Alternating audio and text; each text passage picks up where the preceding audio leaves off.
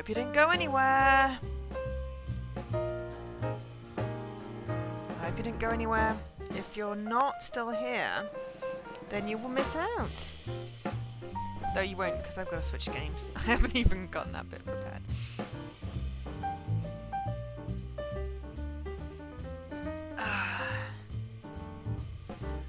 yes, staying out is not social distancing. So that should have counted on my orbit.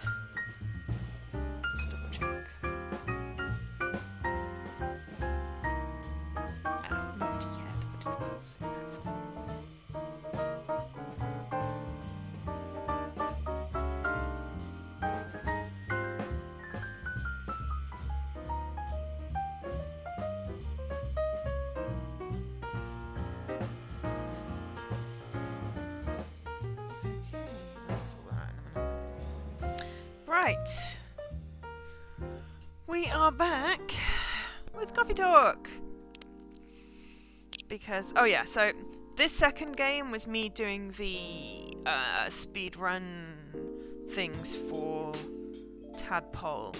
Um, I didn't do any of the story. I just did the mini game. So we are continuing with the story. It's been a while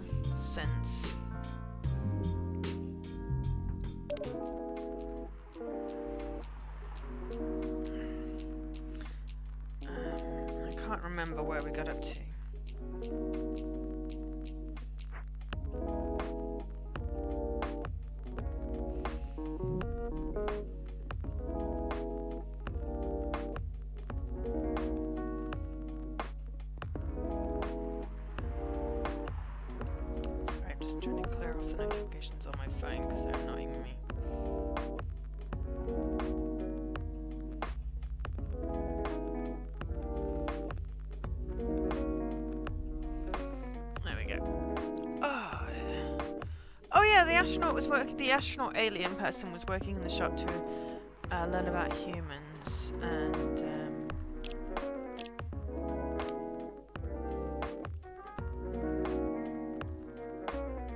Hmm, that's a new story. Okay, so learned how to fly.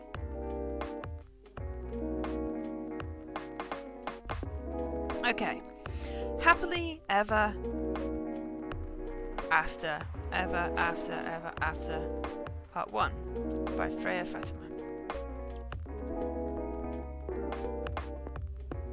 Oh yeah, they were doing their convention thing, and what's this? And the the the Freya was writing a book about my shop. Do I want to grow old with you? No, I don't want to do that. But I do want to be here with you in this moment, stuck in eternal limbo, for an infinite loop of this exact hour, forever. Hell yeah, I do. That's probably the last time Romeo remembers having a really meaningful conversation with Juliet. But let's not get too far ahead of ourselves, dear readers. Just like any other story, this one also has a beginning, and it begins. Excuse me. With an introduction. Romeo is a young man of 20. He comes from a quite conservative but not yet out of touch family. In other words, they're just like almost every other family in the world. He hates the name his parents gave him. He hates it even more knowing that his life is far, so far is fulfilling all the cliches of his fictional namesakes. Falling in love with a girl named Juliet is really just the icing on the cliched cake. Juliet is a young woman of 20. She also comes from a quite conservative but not yet out of touch family. In other words, they're also just like almost every other family in the world. She loves the name her parents gave her. Although she hates the fact that all her life so far is fulfilling half the cliches of her fictional namesakes. Falling in love with a boy named Romeo is unfortunate, but she has no plans to die stupidly over it. Both of them study at the same university. Ugh, this scrolling thing is annoying. Um, and they're definitely not the type of people who'd naturally choose to be friends. Fate, however, in the form of a hip young lecturer with an over-enthusiastic, uh, over-enthusiasm for assigning group projects, an unfortunate sense of humour is what brings them together. A simple group assignment is what introduces our young Romeo and Juliet to each other, even after their first fated meeting. And the many more meetings required to finish the assignment, there's no sign that Romeo means anything more to Juliet than a friendly acquaintance she spent a lot of time in the library with. Nor, honestly, does she mean that much more to him. In fact, after she made an ill judged joke about the literary elephant in the room, she probably means significantly less. As time goes on and the group assignments keep coming without the lecturer ever assigning new partners, Romeo and Juliet become closer. They both began to see things in the other that they hadn't noticed before, though for Romeo that is in fact rather frightening. How could I fall for someone like her, and named Juliet no less? I can't accept it, my mind's just playing tricks on me. Again and again, around and around, his thoughts chase himself whenever he sees her. The day is Monday and Romeo has a class he needs to attend. However, something is different. Normally a relatively anxious fellow, he finds going to a class requires a lot of willpower. Today, however, he finds himself hurrying to get there. He knows why, of course, but he refuses to admit it to himself quite yet. The first thing Romeo does when he opens the door is to look at a specific table. The table where Juliet always sits. To his unacknowledged disappointment, the table is empty. Bleep! Mutters Romeo under his breath. He doesn't curse, because Juliet is not there, of course. Rather, he curses because noticing this was the first thing he did upon entering the room. After sitting in his usual place, Romeo reopens his book and begins reading. Every time someone opens the door, Romeo immediately turns to look and quietly whispers a curse. Again, he's not cursing because he's disappointed it's not Juliet who enters. He's cursing because he turned to look. A few minutes before the class begins, Juliet finally arrives, announcing herself and her friends with a braying laugh as she does so. That sound used to be one of the most annoying sounds in the world, at least as far as Romeo was concerned. But today it brings a small smile to his face. Bleep! curses Romeo again after he just realised he smiled at the sound. Is Romeo in love? He probably is, but he doesn't want to admit that. Falling in love with Juliet is dangerous, extremely dangerous. They come from completely different backgrounds, they have different skin colours, and they worship different gods. He has no problem with interracial, interracial relationships. Of course he doesn't. We never expected it to happen to him. This simply will not do. I need to talk to you. Romeo looks up. Juliet is standing over his table. Her jaw is set, but her eyes are worried, and he completely forgets all about his own problems. Uh, what's up? He asks. Can you keep a secret? It's really important. Sure, I guess I can. Good, because I really need someone to talk to. So Juliet sits down and begins telling her story to Romeo.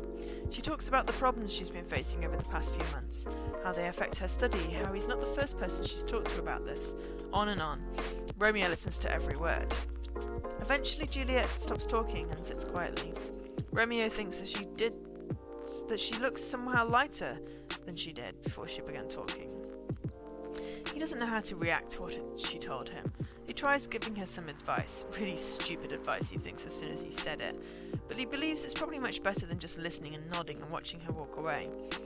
He doesn't think he wants to walk away from him, he, he thinks about this. One thing is for sure, Juliet trusts Romeo as a friend. They've shared a secret now, even though Juliet has shared the same secret with others before him. This still makes Romeo happy. So damn happy. How pathetic am I? Being happy because someone I like came and told me she's not. Romeo thinks, and then shakes his head like a dog shaking off water. After sharing everything she wanted to share, ah, Juliet starts talking about lighter topics. Soon they are joking freely, the dark mood of earlier almost completely dissipated. Just before Juliet leaves, Romeo asks something. Why did you tell me all that? Well, I don't really know. I think I can trust you, and you're one of those rare few people who can talk to people directly without sugarcoating everyone, everything. It's refreshing. She shrugs. I guess that's why. What Juliet says is true, but Romeo finds it amusing that even though he normally speaks directly to everyone, he knows he can't do that with Juliet. He's not himself when she's around, or so he believes. After that conversation, Romeo falls even more helplessly in love with Juliet. It's a stupid he thinks, as someone who rarely falls so hard for anyone, but Juliet is driving him crazy, and the fact that she makes him feel the closest thing to love he's felt in years, yet a big wall of culture, norms, and other societal traditions stands between them, hurts him even more. But as of course if Juliet is even into him anyway. As weeks go by, Juliet and Romeo become closer. They start telling each other stories more often, but all of these stories are limited to their courses, their friends, and anything at all besides their feelings for each other. She's not into me, she's just an extrovert. She's friendly with everyone. Romeo keeps thinking, and suddenly when he's thinking about it, and it's when he's thinking about that, that suddenly Juliet comes and sits at his table. So you said you wanted to tell me something. It's true, he'd already sent a message to Juliet telling her he wanted to talk about something. Hmm. Oh wow, diving straight in. It's nothing all that important actually, says Romeo. On, it's not like you to be so indirect about things. What's wrong with you, boyo? Romeo actually called Juliet to talk about her attitude recently. She's been weird, you see in Romeo's eyes, and it feels like she's getting further away, removing herself from any student activities she's usually partaken. Juliet answers all his questions, all his thoughts and concerns about how she seems to be removing herself from all the side activities she managed to shrug off or easily explain. Maybe it's just me. Maybe I'm obsessing over every single thing she does, thinks Romeo, while a pit opens up in his gut at the thought. Is that all? Anything else you want to say? She questions him. Fair is fair, after all. Do you know that I used to like you? The words come out from Romeo's mouth out of the blue. He's horrified, even as he recognises it's a lie. He still likes her now. He doesn't even know why he decided to confess his feelings right at this random moment. Never mind why he wasn't why he confessed with half a lie. It wasn't planned at all. But when he heard Juliet say anything else, well, there's definitely one thing Romeo had been planning to say to Juliet for the last few thousand eons, or normal human measured time, since about eight months ago. Juliet shows a flash of surprise and then says, No, I had no idea at all. Why? Why what? Why do you like me? Or did you like me? I mean, there must be a reason. Whoa. Uh, of course there is, Romeo opens his mouth to tell her and pauses. He blinks slowly and closes his mouth again. Or, no, I don't know. I think there is, but I'm not sure. I'm sorry, I'm talking gibberish. Gibberish. Juliet doesn't respond to that. Romeo doesn't even dare look at her directly, but he can see out the corner of his eye that she looks dumbfounded. He takes a breath and opens his mouth again, hoping for a lightning strike, divine inspiration, or instant death. He isn't picky. Okay, okay, I just. I, I see you as a really strong person, okay? You have a big girly side, but you're also a really strong, independent person. Okay, I get the girly part, but what makes you think I'm strong? Well, just look at how you work with all your assignments and organisations. I definitely could never deal with everything as well as you do. Ever. Oh, come on. Everyone has something they're good at. You can do some things I can't. That's pretty normal. I know, but I'm still. I'm not sure. That's probably what attracts me to you the most. When he says that, Romeo tries looking at Juliet. Just for a moment, he saw a twitch of a smile on her lips, but he dare not even hope. He ascribes to his imagination instead. So what's next then? asked Juliet. To be honest, I don't know. I said this because I can't keep hiding it forever. I needed to say it to you, even though I know it's impossible for me to ask you out, considering all the differences between us. Juliet pauses. Oh, of course.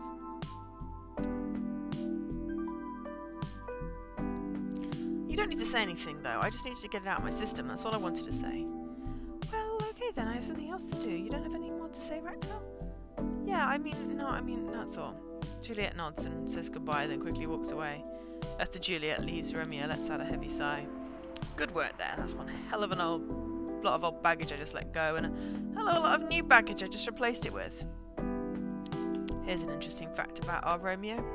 During the whole conversation, he hadn't been able to keep himself from shaking. It's an old habit that he just can't let go of. To his relief, they'd been sitting during the whole conversation, so he could hide his tremor. Still, even though he feels intense relief after telling Juliet about his feelings, his hands are still trembling. He has to wait a couple of minutes before he can walk away. So, now after Romeo's long awaited but ultimately useless confession, what's next for our Juliet and her Romeo? Funnily enough, neither she nor Romeo ever mention it again, at least not to each other. Romeo did eventually tell some of his friends about his feelings for Juliet, but what about Juliet? Romeo didn't know anything about how she was coping with this re- revelation. He expected she probably told some of her friends, but he, as he had told his. But that doesn't even matter, he tells himself. We're not meant for each other anyway. Watching from the outside, nothing seems to change between them. They still talk about their classes, about their friends, about shows they've watched and books they've read, but they never ever mention again the time when Romeo revealed his feelings to Juliet. At first, Romeo had thought that confessing his feelings would mean letting go of a big boulder inside his heart, As it turned out, it only transformed the boulder into a restless rock monster asking for more. Eventually, he realizes letting Juliet know about his feelings isn't enough. He needs to have her, he wants to hold her tight, he wants to stare into her eyes and tell her he loves her to Pluto and back. He wants to hear her say, I love you too. He wants to kiss her, he wants to run away with her to a place where no one cares about their differences and just sees them as a cute couple in love. He wants to do all the good things in life together with her, and more than anything on this earth, he simply wants her. The feeling is killing him. How could she be acting normally after that revelation? Does it mean his feelings mean nothing to her at all? Peak of his emotions comes one day when our hero is falling asleep. Suddenly his body is drenched in sweat, his heart beats too fast, and his thoughts only run to one thing Juliet. He wants, no, nothing Prozac. He needs Juliet. He doesn't care about anything else, about traditions, about their family, about anything. There's only one thing he needs to do tomorrow, and that is to confess his feelings again to Juliet. This time, however, he's going to ask her out. If she feels the same way, he will ask her just to give it a try and fight the world together. He resolves that he is going to take a leap of faith, and it will be the first thing he does the next time they meet. Da da da! To be continued. Cool. Right. Uh, I need to change the music. That's irritating me. That's better. Um. So. Oh, hi, Paul.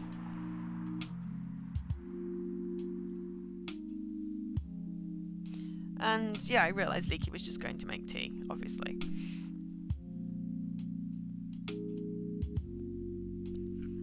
And not going out. But yes, we, we, we have cupboards full of tea and kettles. We don't need to go anywhere.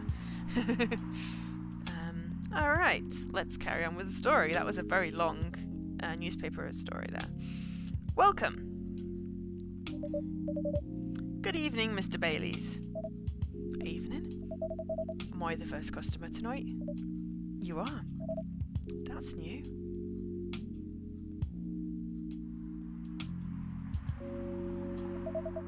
Freya's not here? She said she's coming later tonight. Got something to do with meeting some fellow writer friends. Why not do it here? It's her favourite place, right? Her friends have visited this place from time to time. Just not as much as her. Roy's gathering her. I wonder what writers talk about when they're hanging out. I've known them for some years now. She has this habit, you know. If she said they're friends, it means they're just hanging out normally. She said they were writer friends, they're probably talking about work, either giving each other feedback on the latest drafts or sharing and validating ideas. Interesting. They even use code words for meeting up. Oh, it's not like that. She doesn't realise that's what she says. I just picked up on it. That's even more interesting. Are you always so observant? That's part of the job. Is that? People come here every day. Some of them aren't as talkative as others, but their body language can be loud and clear. Okay, I wonder if there's a date. October 2nd.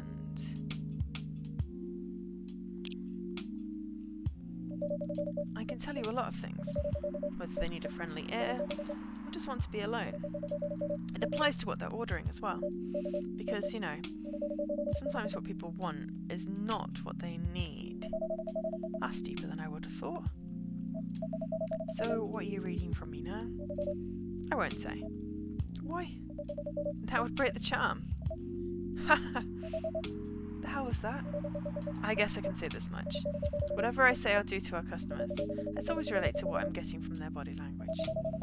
Including our interaction now. Including our interaction now. Man, now I see why you didn't want to share. And that was enough to make me feel like I'm naked in front of you. By the way, I haven't ordered anything. What are you having tonight? Hot chocolate. With ginger and cinnamon. I heard that's a good drink for a bitter heart. Hot chocolate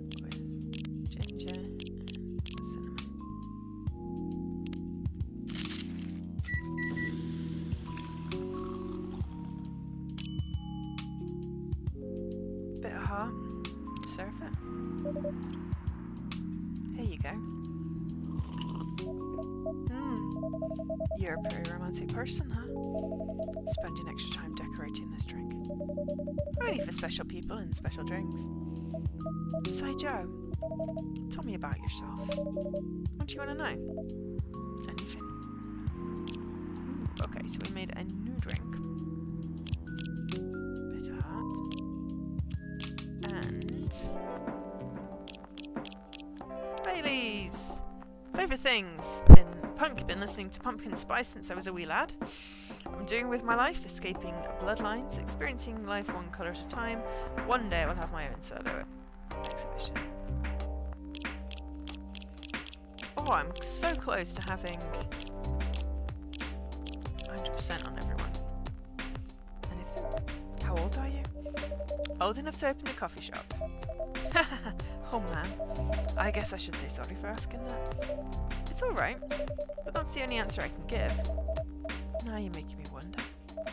What should I ask next?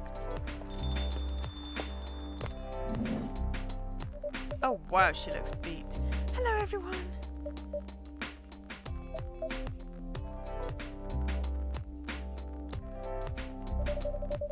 Why are you both looking at me like that?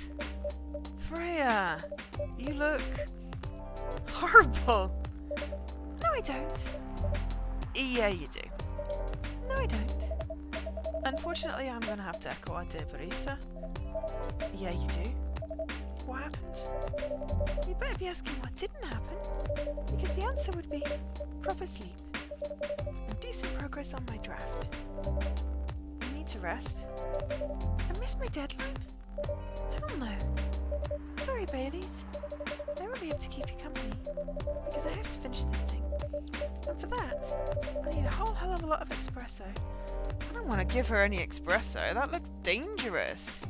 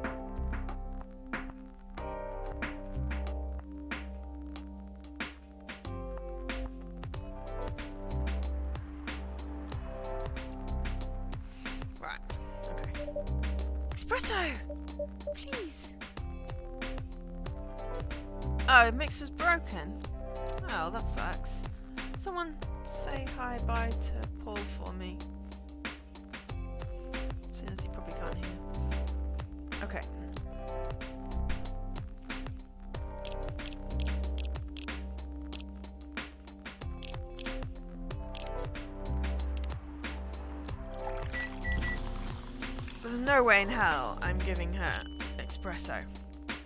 That looks perfect.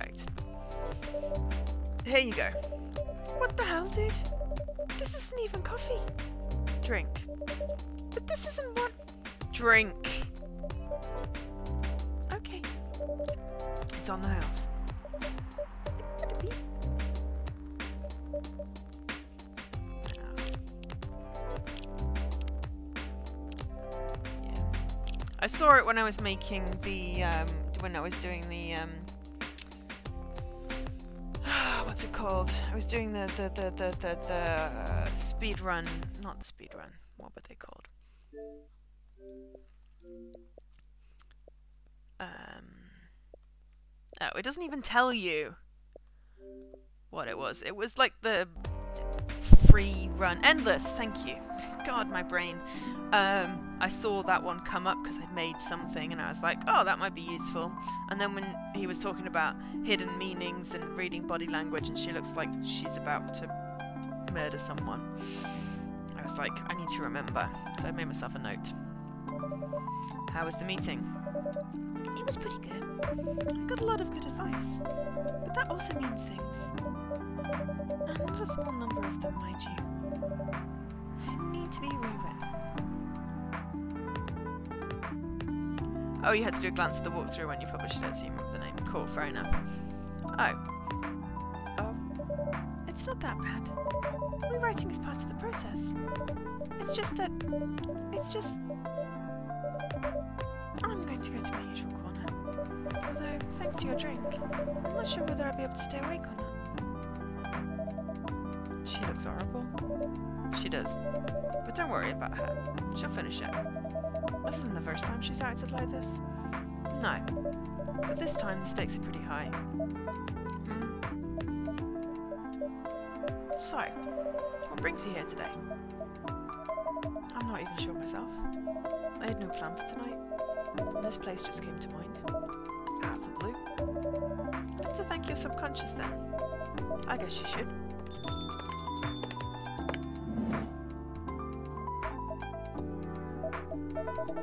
Sure whether I should thank it or not, though.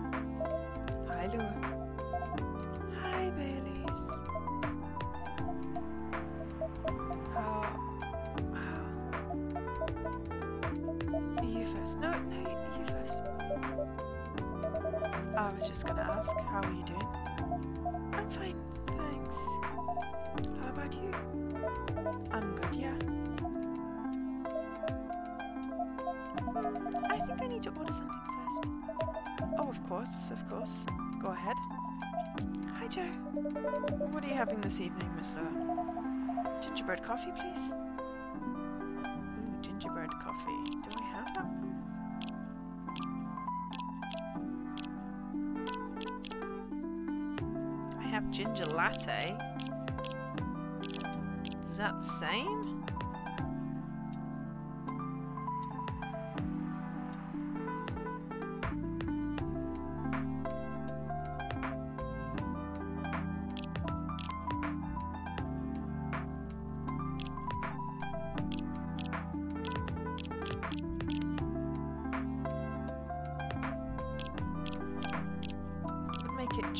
Gingerbread.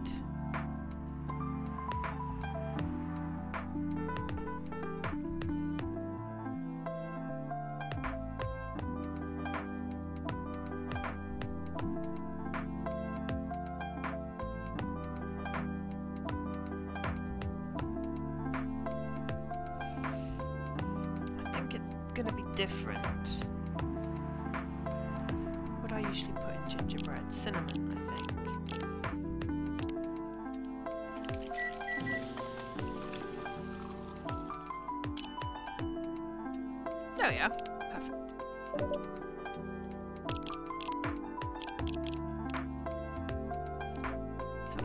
Brown sugar to satisfy the cookie monster. Here it is. Thank you. My grandma used to make this drink for me. It reminds me so much of her. Reminds me whenever I was growing up. With my family. How's work? It's going pretty okay. You? I'm not taking on, on any new jobs at the moment. Because, well, you know. Enough in your savings, right? That's a very Lua thing to ask. But yeah, I do. Thanks to that last sewing job. It went well in the end. I kinda did. They paid me on time at least. And the pay was amazing. How long are you planning to take a break for? I don't know. Until my problems are settled, I guess. And what problems are those? I'll tell you this, but don't tell anyone, Joe, who's standing in front of us? Not even Joe. So there's this girl. I love her. We've been going out for a few years, but I'm not really sure where we stand now. How can you not be sure? We had an argument about a week ago. It wasn't anything new. But somehow, things escalated uncontrollably. Why is that? I assume both of us were just tired, knowing that we're fighting against centuries of tradition. We haven't really talked since our last fight. Leaving things unresolved is not a good idea. But I can't bring myself to start the conversation. Why? Even I'm not sure about that. Pride, maybe? Or tiredness? Or knowing that chances are we won't be able to find the best solution for everyone anyway. Baileys, I have a question.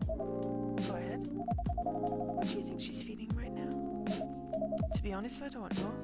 She's not like me, that's for sure. Thankfully. Why? At least it won't affect her professional life that much. I'm glad I'm a freelancer. It means I can just take a break from work without so many problems. I'm not as professional as her, you see. I think you're wrong. Really? If I were her, I'd find it difficult to live life as usual. But I'd put on a lot of masks, just to hide the feelings I was going through. That sounds dif- difficult and uncomfortable. It is. But a friend told me once, you gotta do what you gotta do. He must be a pretty cool guy. He is. Just kiss and make up! What's next for us, Baileys? I don't know, Lua. I... I met some new people this week, including that supermodel. You knew? That girl in the corner told me. Yeah, including that supermodel. And how does that make you feel? Like a fool. What? He said a lot of things I've been trying to avoid thinking about. Lots of truths. He's a bit like you, you know. Attitude-wise. Get along with him. Doubt it. Opposites attract, but similarity breeds contempt. I've heard that before. A lot. A certain hipster elf. And after listening to that guy, what's your stance on, uh, you know, us? I'm not sure, Baileys. What about you yourself? Had any similar experiences this week? I have, in fact. You met a vampire, and I met a werewolf. What are the odds? What are the odds indeed? And what did your werewolf say? Hmm, not much to be honest. But he made a good point about the importance of family. Baileys, I know I've been stubborn about you wanting to make peace with my family, and I know why that's very important for you. Freya said something that kind of hit hard. What was it? I was just using you as an excuse to escape my family, when I actually want to do that anyway. For myself. You know me, Baileys. You know how I feel uncomfortable with people leaving their families. Which makes me an asshole, I guess. I get why you think that way, Lua. Blood is thicker than water. What should we do? Lua. Yes, Baileys. Please let me leave my family. I'll try to get your family to accept me. It sounds like the easier thing to do after all. But you'll lose your immortality. Be an outcast amongst other elves. An outcast from a bunch of overly pretentious people. Sounds great.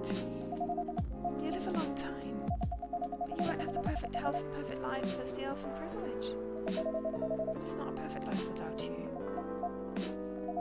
What if our relationship doesn't last? You'll have lost everything. You'll blame me.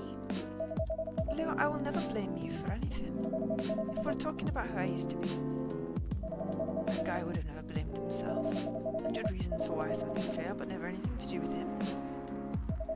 But that won't happen with us. You know why? Because I've learned so many things by being with you for ten years. It's made me a better person. So you don't need to worry about any of that. Because right now, you're the most important part of my life. I don't need an immortal life. Because without you, it won't be a life worth living. Baileys.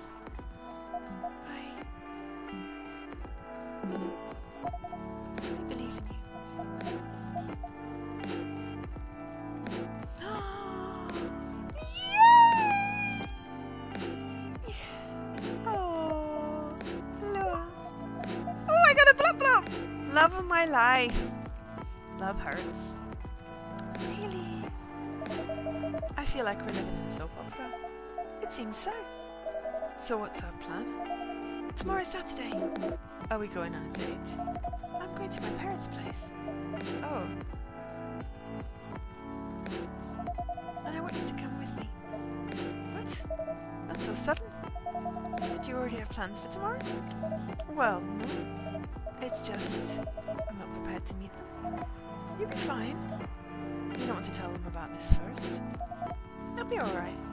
Well, they'll never forbid you from dating other races. They're not big fans of elves, that much is true. But you can prove them wrong. Hmm. Okay, this could be a good first step. It is. It's set then. I don't know what'll happen tomorrow. But we can think about it. And anything else? Later. I'm with you on that. So, does that mean you don't mind me? I had my doubts. But now I'm sure. I can trust you. You're... Thank you. Are you still staying at Fran's house? Yeah. You're staying with me tonight. Huh? What about your roommate? She's away for the weekend. Taking a long weekend getaway until Sunday night. Ooh. Fate is on our side, it seems. Hey, Joe. Yes. We're leaving. Thank you so much for keeping up with us this past week. The pleasure was mine. We're off then. See you. Thank you for coming. Aww. Oh, Ivy's playing Overcooked. I'm to strangle my upstairs neighbours, or downstairs neighbours.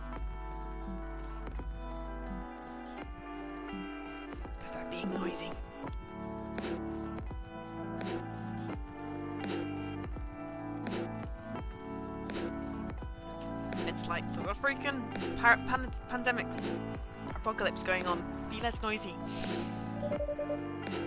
That was pretty intense. Oh, you're back in the real world. I just pretend not to notice. They're like one of the main reasons why I'm writing the story. So I have to see their struggle through to the end. It's important for the writing, you know. That's cold. What? It's not like that. It's just that... That... Yeah, that was cold. I'm sorry. You look better than before, though. For now. I can't tell you how I feel until it's done. And I don't.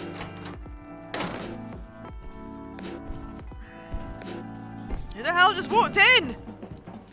Oh, bloody hell. We got a Goron werewolf.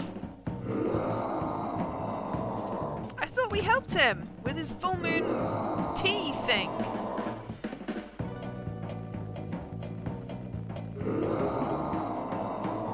This is roaring for me because my throat can't take that. Whoa! Freya, get over here! This wolf? Is that him? I think so. Welcome, sir. Treat a werewolf in a fury like a normal customer. Trust me. He must have his reasons for coming here.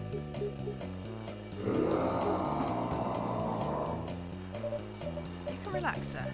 Do you need anything? Something to calm you down, maybe? Alright, I need to make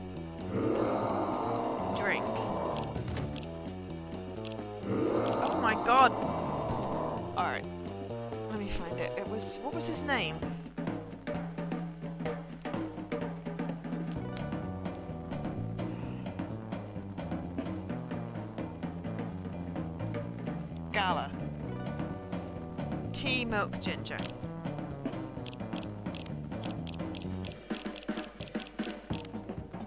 That should make Galahad. I made notes from last time. There we are. Because I didn't know when I would do it next. Here's your... Whoa! Galahad a fit! One drink to rule him!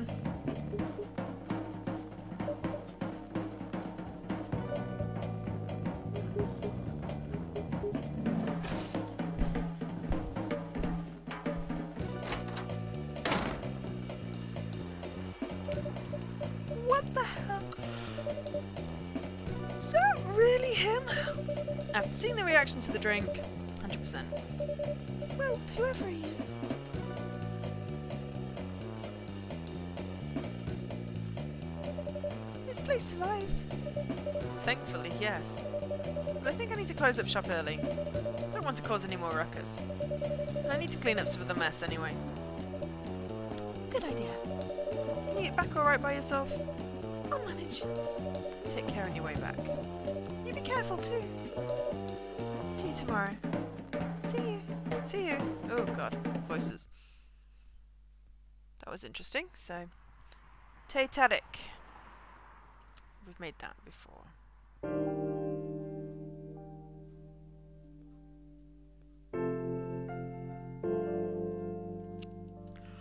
Saturday, October 3rd, 2020. Just after the apocalypse. People can gather in social places again. The Evening Whispers, free of charge, Saturday, October 3rd, 2020. Wordstein Company criticised for unfair depictions of werewolf in their latest box office hit. Coachella 2020 do's and don'ts. Atlantic ambassador in talks with FIRE regarding immigration. Smiler's first birthday. Okay, cool. I think. Yeah, we've got all of Gala's. Favourite things food. Anything warm and made with ginger. Music, Metal Maiden. Books, Full Metal Jarhead. What I'm doing with my life. Trying to heal myself by helping other people heal. Got Freya, Georgie, Gala, Lua, Bailey's, Hyde, Myrtle. We need one more for Rachel. But Neil, Aqua, Hendry. So just Rachel.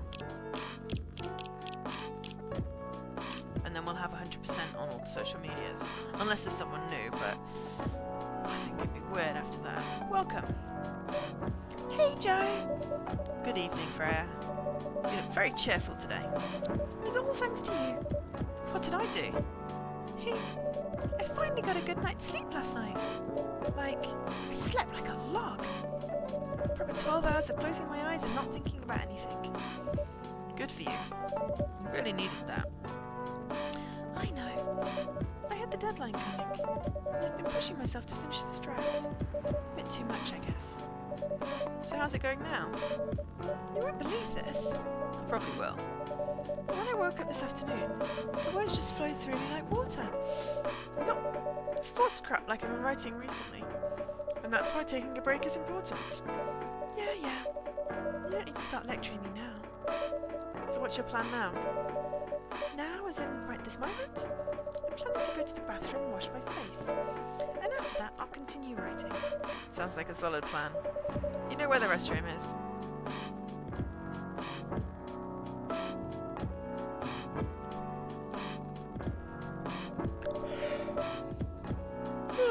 okay, I need something to drink now.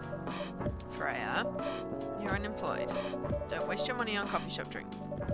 That is so weird. Coming from the coffee shop owner. I know. You've been a regular for years. You only need the vibes of the place. Just right here. No, I can't do that. Any customers tonight. What'd I do if this place went bankrupt? It won't happen. How can you be so sure? Just take this tap water and go do your work, okay? Good. See, I've got customers. See? Yeah, there's a customer right now. So, don't you worry about me. Oh my god, all the plasters, you poor guy. Oh. Hi, Gala. What's wrong? I know you're a man of few words, but this is maybe pushing it a bit. Freya, Joe, I'm truly very sorry for what happened yesterday. Gala, hey, it's alright. No one got hurt, right? Coffee shop's fine. Don't think about it too much, Gala. Like Freya said, no casualties and no problems with the coffee shop. I still need to redeem myself for the mess I made and the scare I gave you. I'm sure there's something I can do. Hmm. Why don't you buy something for the lady here? I'm sure she'll appreciate it. Hey, what do you mean? Do you want anything to drink, Freya? No, it's alright, Gala. I insist. You don't have to. Please accept it. At least it'll help me stop feeling so guilty, at least. A little. Alright, alright. I wouldn't mind a coffee. Not an espresso, mind you. Something with a little less of a kick. You know how to make sugar and spice? The one with cinnamon? Yeah. Cup of sugar and spice, please. Okay. So, do I have that one in my recipe?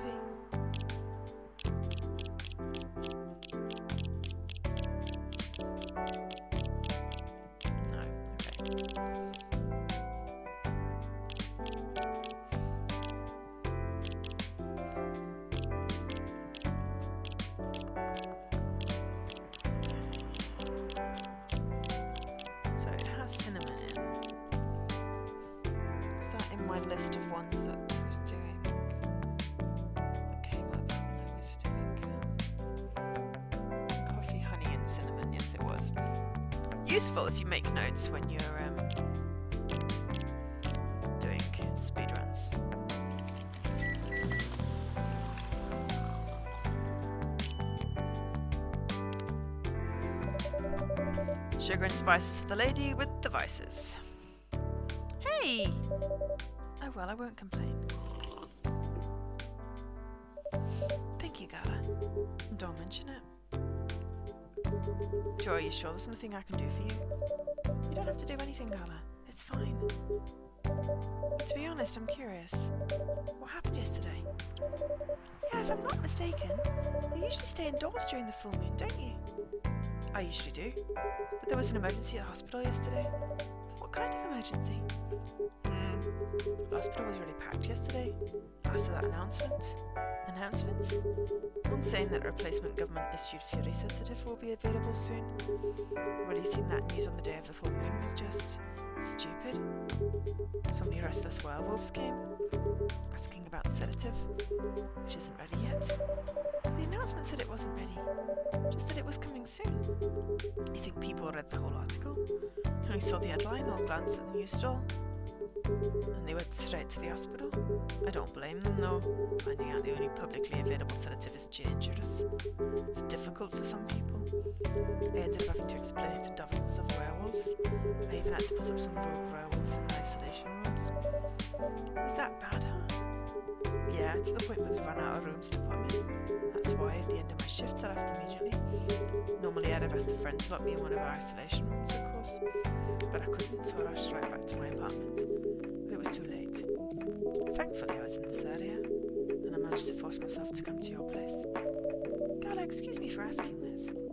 Yes. But you didn't hurt anyone on the way here, right? As far as I remember, no. I didn't see any blood on my clothes. That's good to hear. It's about sound overly confident, considering what happened yesterday, but I have enough control to make sure I don't hurt anyone. As long as I have something to direct my fury towards. Usually, I end up destroying stuff around me. Or worst case, I do myself. Despite all of that, I'm still glad that no one got hurt. Always looking for the positive side, aren't you? Just doing my job. Thanks, both of you. I really mean it. Please, if there's anything I can do to pay, I mean, if there's anything I can do to help, please don't hesitate to ask me right away. Will do. In the meantime, can I order the drink? Sure. What are you having? Same as yesterday. Okay. Which was a Galahad, which I'm still gonna have to look up because tea, milk, ginger.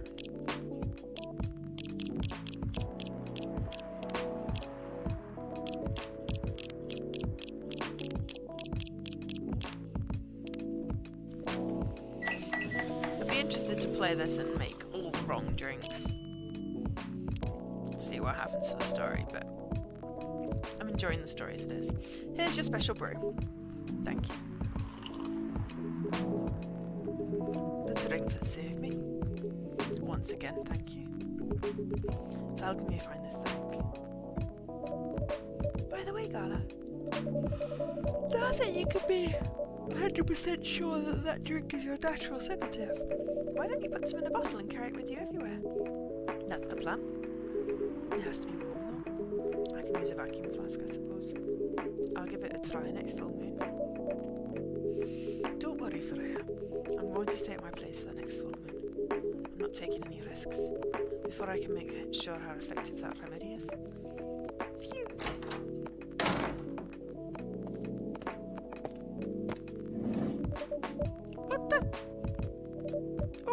Oh, Rachel! What's going on? What else? Your father? Of course. What the hell was he thinking? Coming backstage at Coachella just to get in an argument with my manager. Huh? Before we continue, Joe, a cafe latte, please.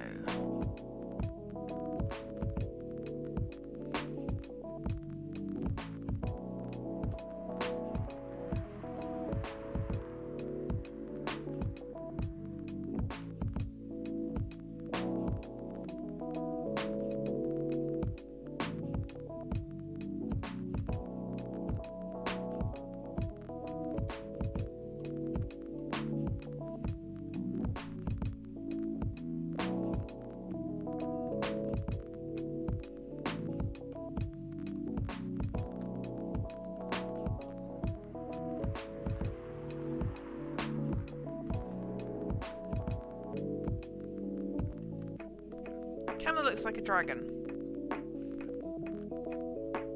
I'm not drawing him redacted. Thanks.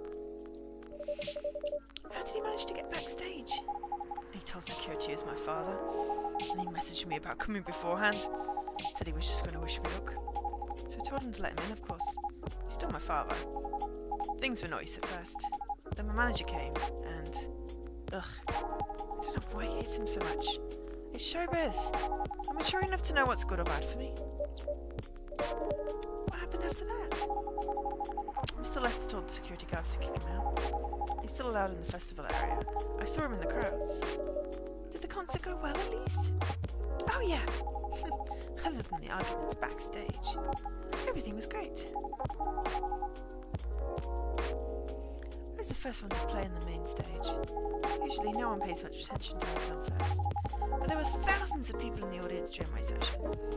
Nice. So you don't need to be at the event anymore after this? Not really. I did my stage time.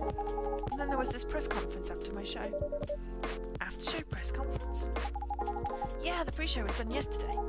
Today was a small one. There was almost a dozen journalists who wanted to interview me. So we decided to just do a mini conference. Good for you. Totally back in the game, huh? I guess I am. Thanks to Mr. Lester. I would say it's because of you. But your manager's probably worked up some of his influence too. So why are you here? Ugh. Because of Dad, of course. Told me to come here this evening. We really need to set things straight. I need to stop messing with my manager so much. Because this evening is the only time we can meet. Can't go to the party Mr. Lester is hosting. What party? He's hosting a party for the VIPs and artists he manages. A club in Belltown. Is it okay for you to go to a party without a guardian?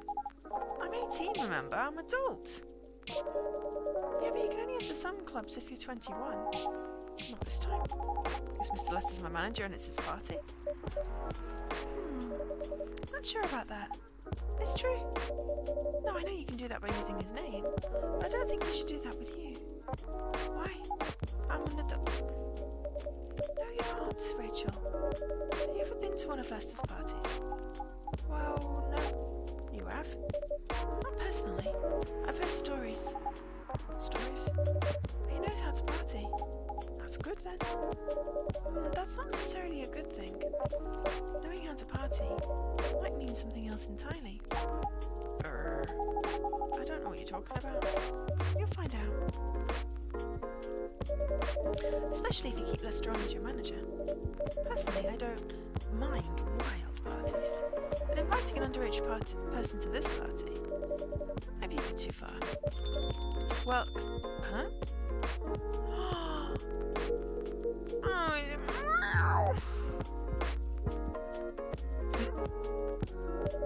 What the hell?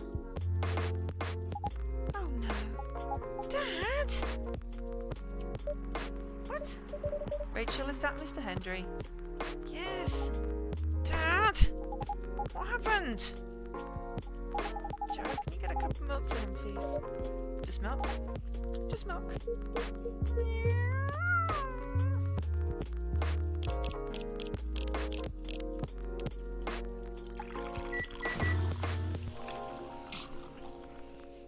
Making latte redacteds? Leaky, is that what the thing is? Here. Oh, his little mustache. Thank you. Dad, please hold on. Can someone help me call an ambulance, please? They're on the way. I've contacted the hospital. Thank you. I've also contacted our necromemia expert personally. She's off shift right now, but she's also on the way.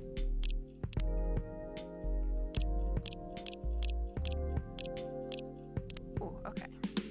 Favorite things, love my family, cats, milk, and you. What I'm doing with my life. Been dancing, singing, tried to achieve my dreams since I was 13. I'm not stopping now. I feel like I should have an achievement. I've unlocked everyone.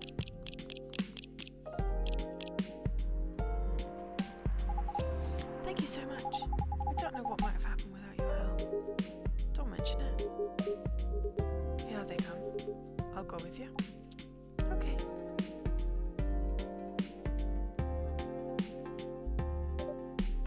Oh boy. That was really something, huh? Yeah. Two days in a row. An emergency at your place. Well, at least some people think of your place as their go-to when they need help. You're right. It's not every day you look at things from the bright side. Heh. Well, I'm one, one of your coffee shop disciples, right? So I kind of understand them. Hendry's alright. Me too. At least he's in good hands now. What's your plan for the rest of the night? Well, that was all pretty hectic, I need to continue writing. Take your time and place then. Will do. Okay. Alright, I need a brief break. I should be back momentarily.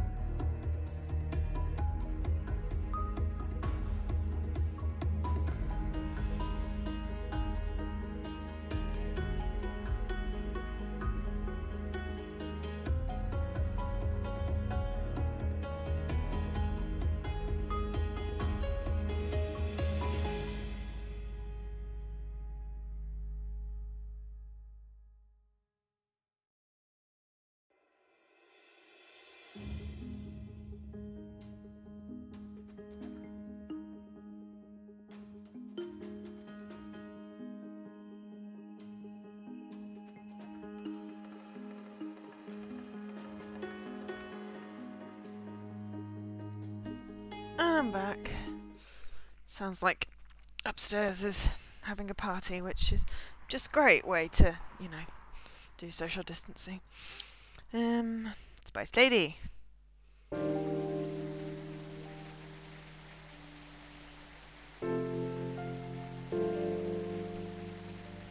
Sunday, October 4th, 2020. It feels like we're rounding up the story. Evening Whispers. Fight broke out during Coachella, culprits in police custody. Despite the arrest, Coachella will go on. Police raid on private Coachella after party is biggest drug and sex-related bust of the year. Blimey. Oh yeah, I think we've had a couple of stories. Damn it, we missed part two. Right, okay. Happily ever after ever after ever after part two. It doesn't happen the next time Romeo and Juliet meet. When Romeo sees her, he knows something isn't right. After that, each time he sees her, he feels uncomfortable, almost afraid.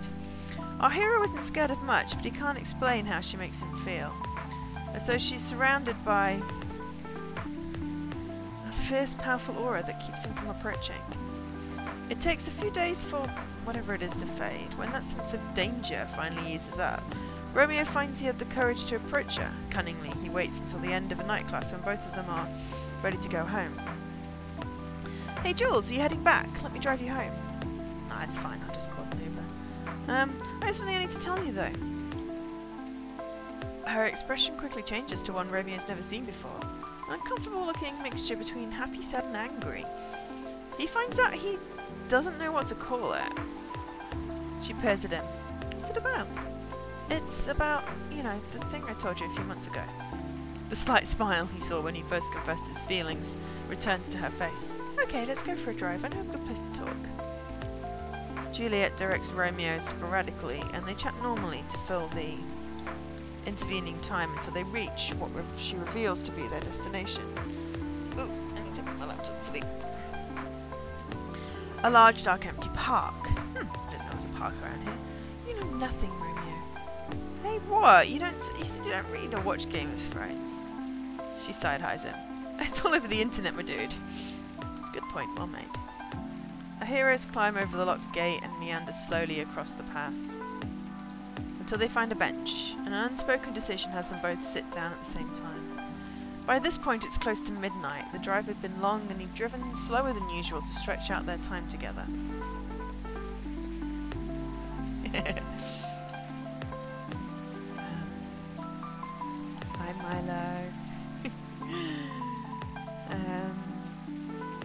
sky is bright with stars while the full moon hangs, hangs heavily on the horizon.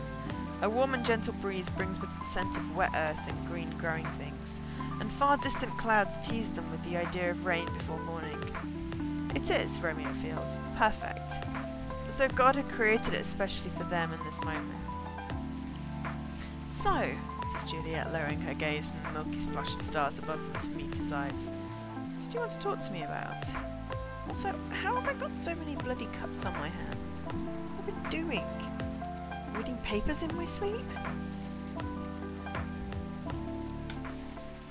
Weird. Romeo thinks, what the hell? and jumps right in. I told you I liked you, do you remember? Yes. It's a lie. Her eyes narrow. What do you mean? Oh, careful, dear Romeo, you should not play with a woman's heart.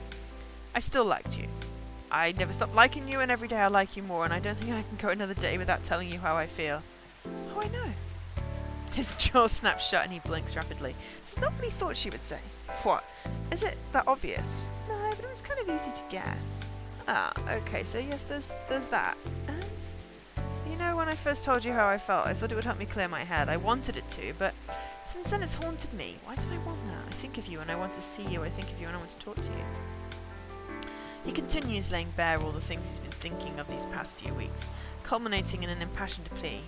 I know it probably won't end well, but I want to be with you. I want us to try. Juliet takes his hand and squeezes it, feels the tremble in his fingers and says nothing about it. Romeo, I like you, she begins. His heart nearly bursts. I like you a lot, but only not only as a friend, but you know that with our backgrounds and our families, it's impossible for us to be together. I know that, Juliet. I know, I know. But still, I really like spending time with you. Whenever I talk to you, I feel so happy and so scared. Why would I feel scared?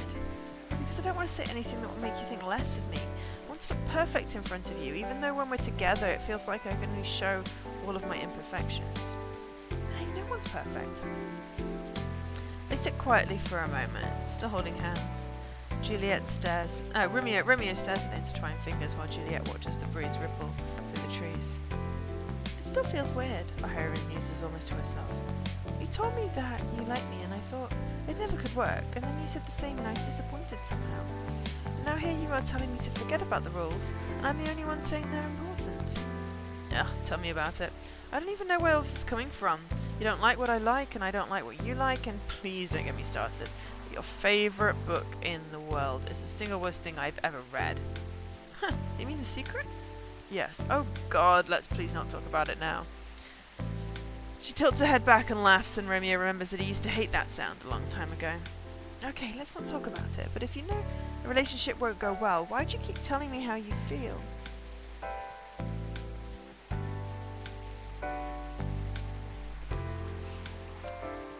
Why don't you just try to forget me? I've tried, he says, squeezing her sighs, squeezing her hand gently. But every conversation with you is enough to make me remember that you mean so much so much to me. You don't listen to explosions in the sky, but you're what I think of whenever I do. You don't play video games as much as me, but you on my team is what I want the most whenever I play a multiplayer game. We pray to different gods, but your face is the one that appeared whenever I pray for a good future. Juliet doesn't say anything. She just looks into his eyes while listening to everything he's been keeping in his head and heart for a long time. Before this, I always thought that when I fell in love with someone, it would be a person that I wanted to grow old with. Do I want to grow old with you? No, I don't want to do that. But I do want to be with you. Here. In this moment, stuck in eternal limbo for an infinite loop of this exact hour, forever. Hell yeah, I do. Neither Romeo nor Juliet speak for some time after that. They just keep staring at each other. They don't know what it is, but they surely feel something strange, being magical is happening between them now. A delicate thing which twists in the air around them, young and oh so fragile. Do you love me? Juliet asks quietly. I'm not sure, Romeo answers. But if it's not love, then I don't know what it is.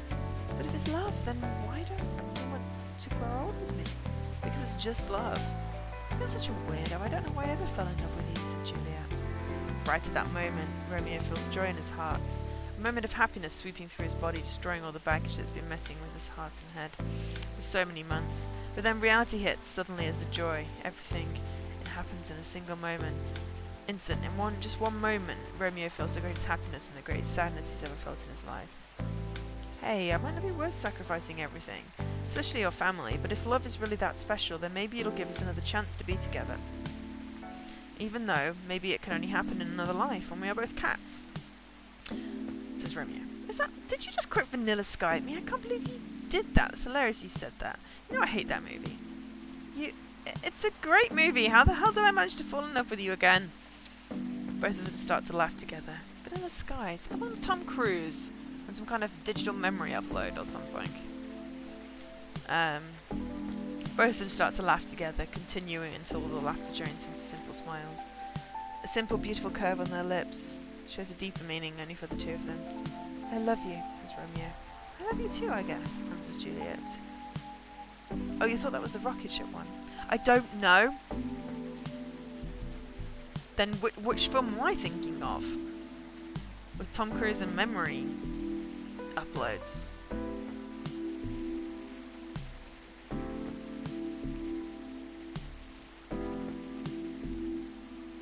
I'm not thinking of Minority Report. Besides, that's future learning, that's not memory uploads. Oh, Tom Cruise, Cameron Diaz, Penelope Cruz, and Kurt Russell. Is that Vanilla Sky then? Dan. Joe is right, Jesse is wrong! Oh dear. Thanks, Tim. Hi, Milo. Um, they sit closer now while holding hands. Juliet puts her head on Romeo's shoulder. Is it worth it? she asks. For now, right at this moment, it's totally worth it. But whether that feeling will last as time goes by, as more people find out about it, I don't know. Juliet sighs quietly. Life sucks sometimes. Life sucks most of the time, that's why I want to make this moment last forever if that's even possible. It's possible if we believe it. Is that what that weird book taught you? asks Romeo. Shut up, Juliet answers and pinches his hand. They stay silent for a while. Hey, kiss me. The words come from Juliet. Romeo doesn't know how to react to that. Why? Yes, I've heard people say that kiss is a magical thing. It can stop time or take you to the future in an instant. Hmm, I've heard that story. I always thought it was silly though. The situation we're stuck in is pretty silly too, you know. Good point, he allows. Well made. So, so. They stare at each other as they lean and they close their eyes. When their lips touch for the first time, it's the strangest sensation either of us ever felt. Everything feels so magical. It feels as if, as if, as if time has stopped only for them. As if they're in an infinite loop of that exact moment. To be continued! Happily ever after, ever after, ever after, part three.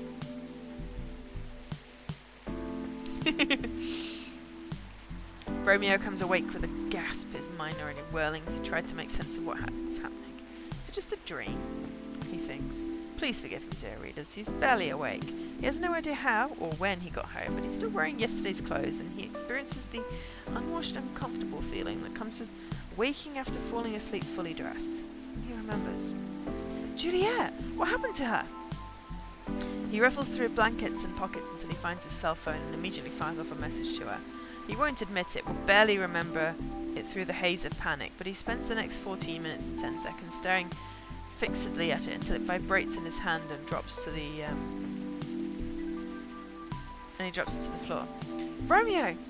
Juliet's voice is muffled by the carpet, but he doesn't think he's ever been so relieved to hear it. Where are you? Are you all right? I'm fine.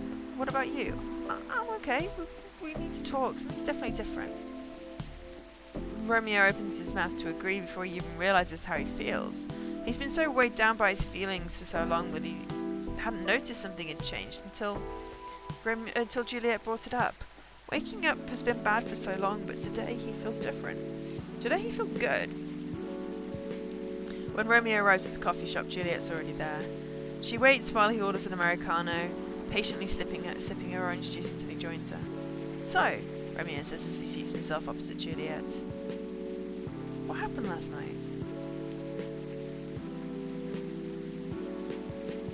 Cruise on a rocket ship. There was one where there was like a whole bunch of clones. And it had Samuel L. Jackson in. What's that film? Was that the one that Jesse was thinking about? Was that Tom Cruise even?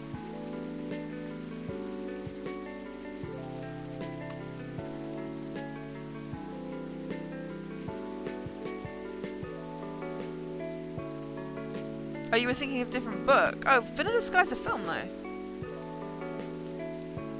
Also, what is that film I just said with Samuel L. Jackson and a bunch of clones? There's some kind of space station on a planet and something in the sky, like Elysium or something like that. She shrugs, shakes her head, the picture of honest confusion. Not sure, but I felt kind of light when I woke up this morning. Yeah, yeah, that's a good way of describing it. I feel like a part of me is missing. Oblivion. Tom Cruise?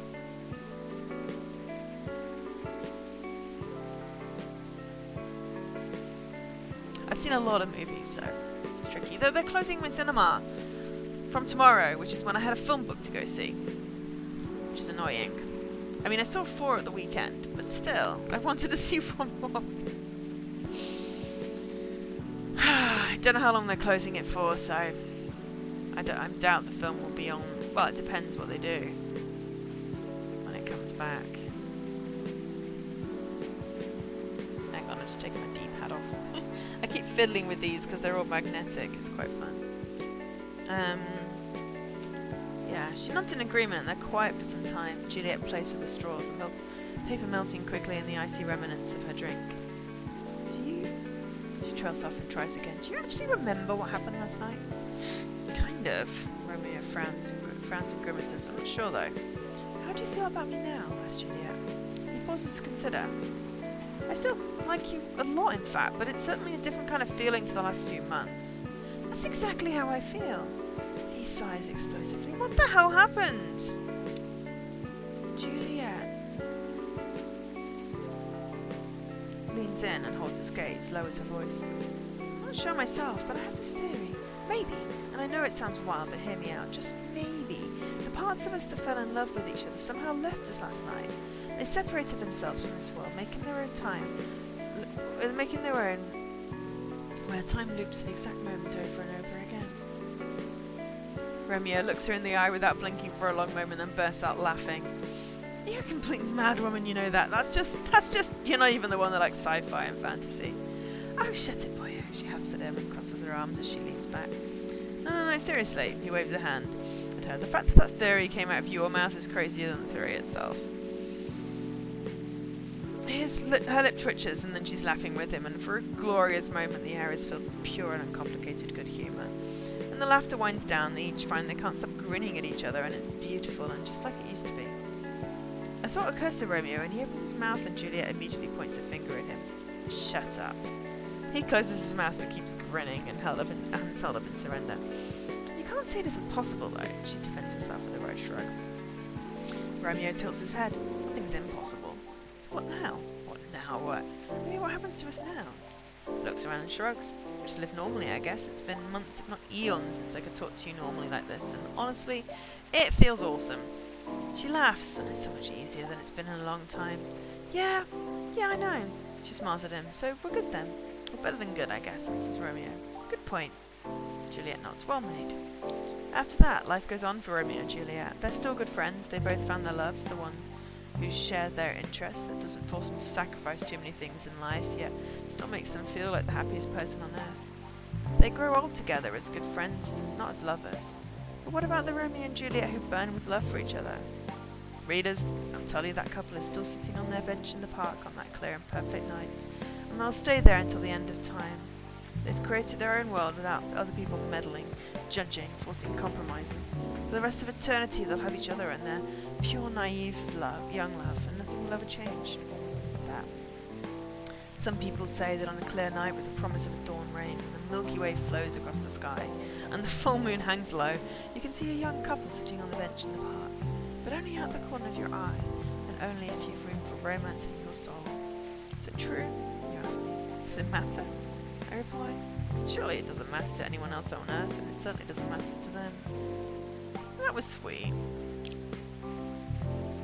Welcome! Hey, pup. Good evening, everyone. Everyone safe and sound tonight? So far, so good, officer. The cop is supposed to be watching this area hanging out in a coffee shop. Not so sure about that. Hey, I'm working right now. I just love multitasking, you know. That requires skill. Taking a break and working at the same time, you know. You know it. That's an oxymoron. That's why I said it requires skill. Anyway, Joe, I really need an espresso to keep me awake tonight.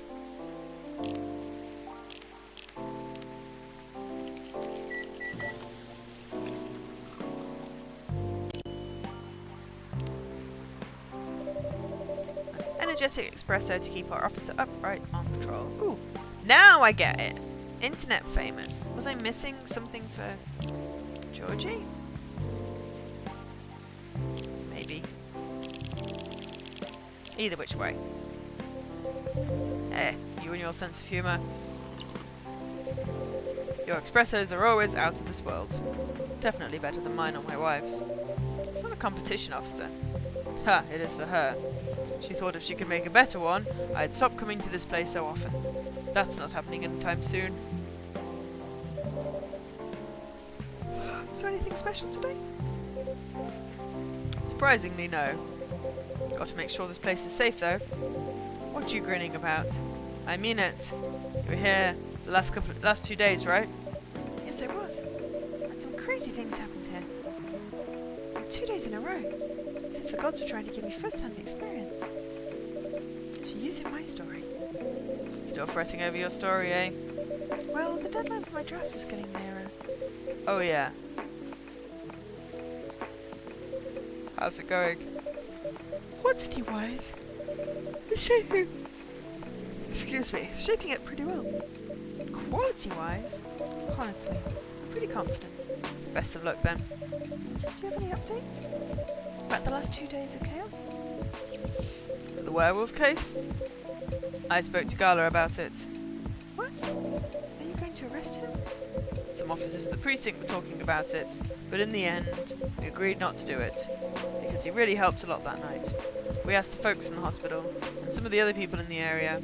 Without him, we'd have had a lot more problems. He helped a lot, getting most of the werewolves safe in the hospital. Too bad he couldn't lock himself up in time. Thankfully, he didn't hurt anyone. So those who would rather detain him can't do anything anyway. Phew. Pretty mad at you if they did arrest him.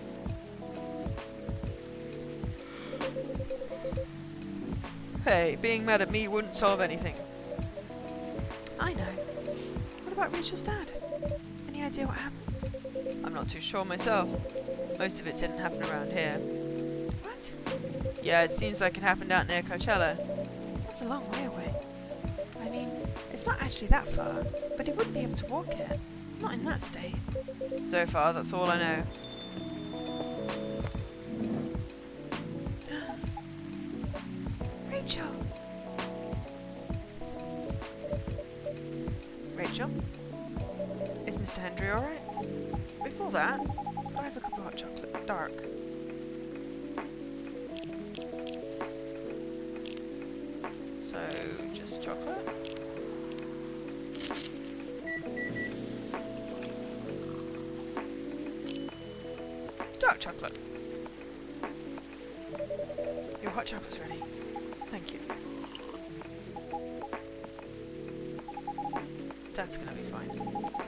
Up this afternoon, thanks to Mr. Gala. He got held fast enough to stop things getting worse. He's doing okay then. Ooh, we're getting gloomy endings. The Velvet family. It'll take a few days before he recovers, but no permanent injuries we need to worry about. That's good to hear. I know. But still, it's all because of me. Because I didn't listen to him. And all he wanted to do was protect me. Rachel, don't blame yourself for this. Please don't take offence. Okay for you to leave your father alone in the hospital. His friends are there at the moment, and I can't face being stuck in a room with a bunch of people I don't even know right now. Besides, I really need to get away from him. So I told Dad I'm going to visit Coffee Talk to get some fresh air. He's okay with that. He understands. He always does, I guess. Miss Rachel, what really happened last night? Dad got into fights with some, some plugs. He heard them talking about me. Some very suggestive, perverted ways. Oh. He didn't like that, of course. So he morphed into his cat form and started a fight with the thugs. Why did he morph? So people wouldn't see what his human form looked like. And link him directly to me. Some cops went to the crime scene. They found some eyewitnesses to testify. And they managed to find the thugs. Are they friends of yours? No. It's even worse. They work for Mr. Lester. What? Oh boy. The reason why it didn't take long for the cops to find them was because they were already under arrest. Because the party went too far last night. Oh! Did it all connect up? They're Mr. Lester's bodyguards. They were chilling after the show having a pre party before the real one. And you know how about guys and locker room talk, yeah? Yeah. Well, that's what they were doing. And I was the topic of discussion. Ugh. Sorry for this, that. I'm sorry to hear that. And you were right about his party. I'm glad I wasn't there. Once again, I owe Dad for. Hey, it's okay. The most important thing right now is you're safe. And your dad made it through. I should listen to him. He might be out of touch, but he's still way more experienced than me. And he's my father. I wish Mum was here. She'd know what to do. She'd know what to say to Dad when he's recovered. You know what? I'm sure you'll know what to do. You're an adult, remember? But I don't know. All I know is I have to be there for him. That's it. That's what you have to do. It may be weird to hear about something coming from Freya, but she is right. Be there when he needs you, Rachel. And whenever you need a breath of fresh air, you can come here and relax for a while. Guys, thank you. I've had enough, enough fresh air for one day. I'll go back to hospital now. Thank you for the update, Miss Rachel. I wish your father a speedy recovery. Thank you, Jared. Interesting. Okay, so let's have a quick look how we're doing. So all achievements, coffee and chill, nice. And all gallery, unlock all special drinks, Spend a total of an hour making latte art. Play the story mode to conclusion. Trash drinks. And then I'm guessing those three are uh, people related.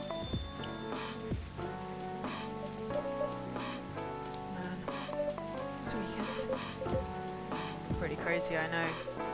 Anyway, I've got to continue my patrol. It's been a pretty weird weekend. But overall, things are still safe around here. We've with uh, that. Never let you guys down, okay? No problem, officer. Thank you for checking up on us, Officer Jorji. Okay then, see you.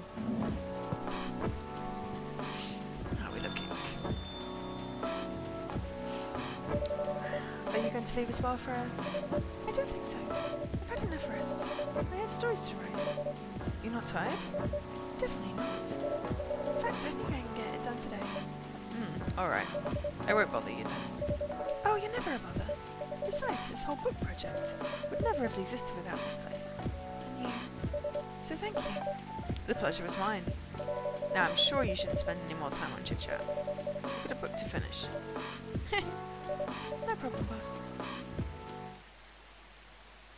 Yeah, the discarding and the latte art, I can probably replay a day and do that. Um, and unlocking all the drinks I'm going to have to probably do and maybe replay some days, I don't know. Two weeks later. Yeah, we're definitely near the end of this. Evening Whispers. Sunday, October 18th, 2020. Coachella Festival pr proves to be a major boost for Seattle tourism. More women have spoken out and claimed Morris Lester lied. Initial reports indicate possible herpes outbreak at Coachella. Ew. Ha! Hello! You're finally here. Hey all. Hi, yo. Hi, Huh? Someone's feeling happy today. Of course. Did they? They approved it. We're so happy for you. Congrats. Oh my. Do You know how happy I am? Judging from your expression, I'd say somewhere between ecstatically and rapturously. You're goddamn right. Oh my god, oh my god, oh my god! How did they react to the draft? Surprisingly, they liked it. That's amazing. I know, right? I couldn't believe it either. They told me if the book sells well, they'll definitely sign me for a second book. I'm so happy for you. Anyway, whatever happens with the book now, I can take things a little slower. Because they gave me a year to finish it. With a feedback session every month. Sounds professional enough? Of course. They are the biggest publisher around. Enough about me. How's the coffee shop been doing? It's been great. We've had a lot of new customers lately. And some old timers, of course. I heard Hyde's back from his trip to Korea.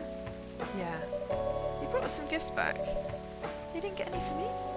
I'm not sure. But he did say he always gives gift directly. Gift giving the old fashioned way,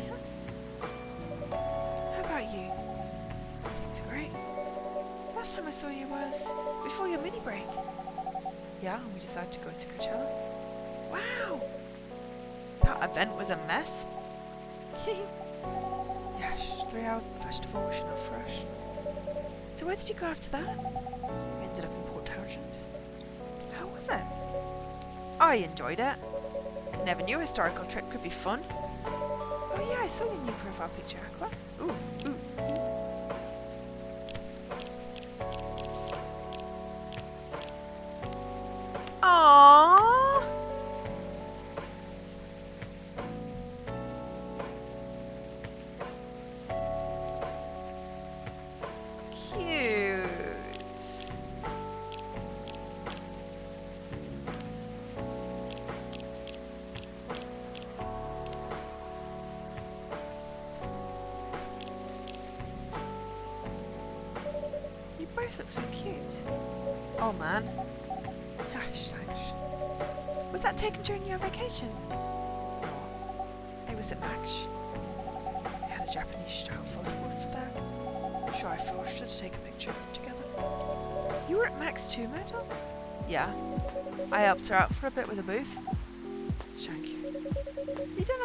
To me. By the way, have any of you heard from Neil? No. Not me? They did send two postcards to the coffee shop. Really? Yeah, one's from Coachella. That's not even that far away. Why sent a postcard? Hard to tell with them. What about the second one? It's from New York. What? What are they doing in New York? Beats me. Working on their mission, maybe. Huh, yeah, probably. They'd stand more of a chance there. Anyway, guys, we're leaving for the night. Oh, come on. So soon? We were here for hours before you arrived. We need to work tomorrow. Fair enough. Take care on your way then. Good luck with the novel. Thanks. See you, Joe. See you around.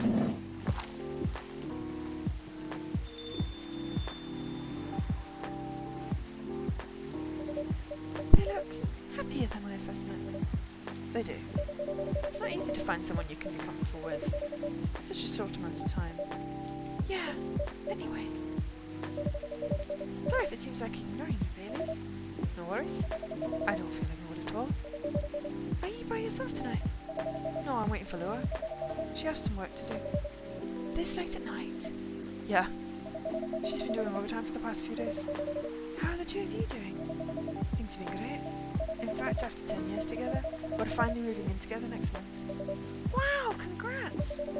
But I thought Lua lived with her flatmate. We're moving to a new place. She got promoted recently. and her company's providing her with an apartment. Wow, she must be a really big deal in her office. Well, she definitely earns more than me. That's not saying much, Baileys. Ha! You shouldn't say that to a fellow freelancer. Oh, here she comes.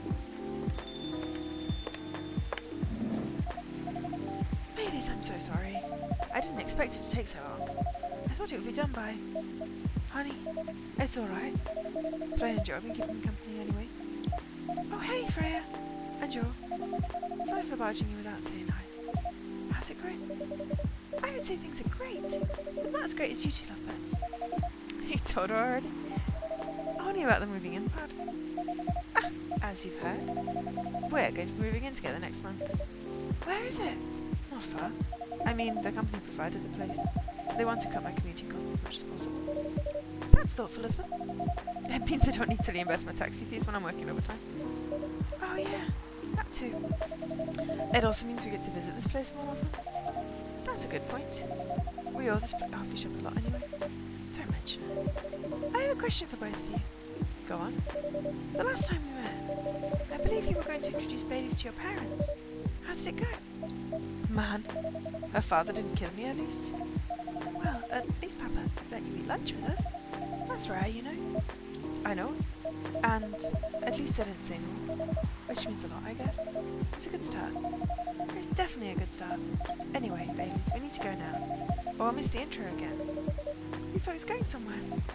Yeah, we're going to watch the midnight screening of Full Metal Conflict. I didn't take you for someone who works at FMC, Laura. I don't, but this guy loves it. Hey, Wardium! You always enjoyed watching me play the game. I enjoyed watching you, not the game. Too bad I didn't introduce you to Myrtle just now, Baileys. She works on the game. Really? Oh well, I'll be visiting this place more often. I'll probably meet her again, one of these days. You probably will. Now go, you lovebirds. You don't want to miss the movie. Alright, catch up with you later, Freya. Bye, Joe. Enjoy the movie.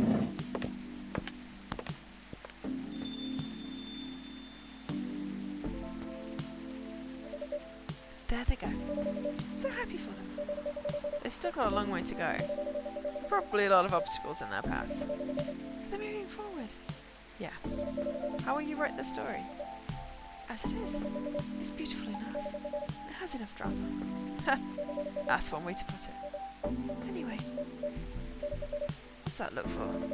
Haven't told me any of our other friends here. How are they doing? You only skipped coming for 10 days. What do you expect? Come on, they played an important part in my writing process, remember? Well, there are some updates about the regulars. Tell me, tell me! Where should we start?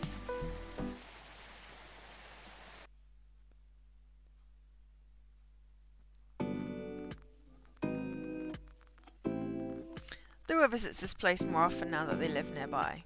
The last time they came, they were talking about catering and venues. Hyde returned from his trip to Korea brought gifts, some more special than others. he said he's considering moving back to Seattle if his agency allows it. Aqua continues her work with the university. She's still working on small indie games. The difference is she's not alone now. Neil? Any news about their superhero breeding mission are the two postcards they sent me. Rachel is back at the recording studio preparing for her first solo album. She found a new manager and someone who made the news as a legend coming back to the industry. Her dad. And finally, Freya. She finished her book, got published, and has some signing sessions. It's a massive success, sold out even after the fourth printings, and might be adapted to a movie. She's working on a second novel.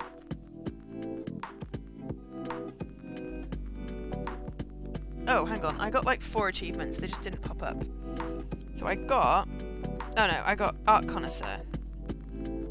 Which didn't pop up.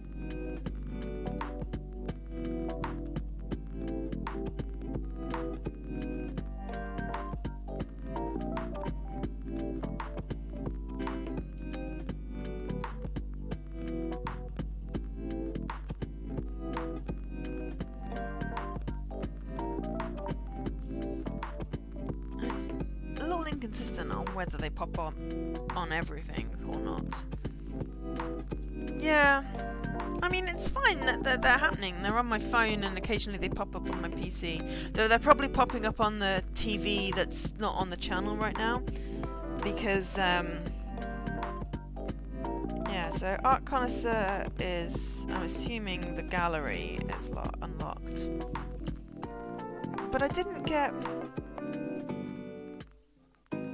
Well, yet I didn't get. I don't know what the daily count is. Served the most drinks. I've got the most correct orders, I guess.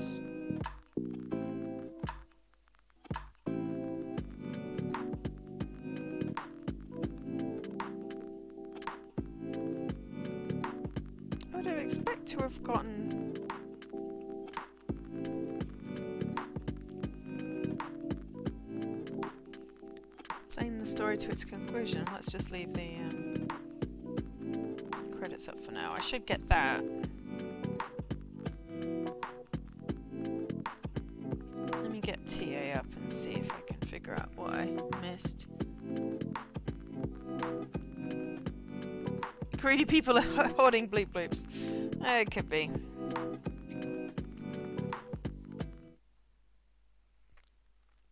Or maybe it's not quite finished. It's probably because it's not quite finished. There we go, bleep bloop. There's a spark. More than friends. Welcome. Hello, Joe. Good evening, sir. Um, have we met before? I'm sure this is your first time here. Of course I've been here. In fact, I've worked here before. What? Wait! No way! Is that really you? It's been a while. Changed. A bit too much. I've learned a lot about how to live with your people since then. I assume it was a success then? Multiple successes. What's with the new look then? Just trying to blend in. It seems like an Earthling immigration agency is after me. Now that you mention it, someone did visit this place looking for you. When was it? Not so long after your second visit here. Was he a bald guy in a suit? Yes. That F-R-I... F-I-R-E agent. You've seen him? Yes. Thankfully, I've changed my appearance since then. By the way, you can drop the act in front of me. So you finally noticed? To think that such power can be born from our kind. You're good with your act, though. It took a few tries, but there are some timelines where I... where I forget to pretend that I don't have some knowledge of certain stuff. Heh, interesting. Now I'm curious to know about those mistakes. Well, it happened a few times. First, when Freya told me about her meeting in the elevator. Then it was the first time Rachel visited this place. The last one involved you on your second visit. Hmm? Oh, and there was another one right after Freya got her draft approved. Can you show it to me? Assuming you know how I communicate with my kind. Never tried it, but let's see. Ooh, interstellar support. Extraterrestrial intern. So we've done the main story, but we haven't seen everything yet. And we also got, is that it? Is this canon?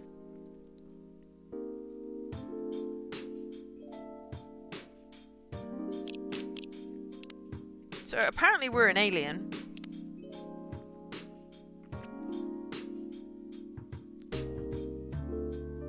Or the child of an alien.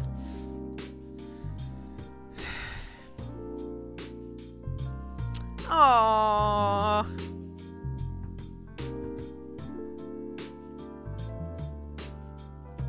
That's the best one. Oh no, that's the best one.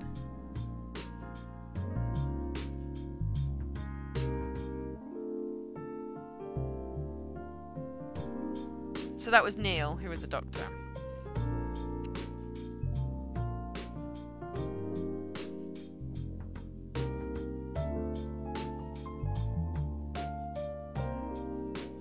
Oh, Ginger and handcuffs. they are all the best ones, yes.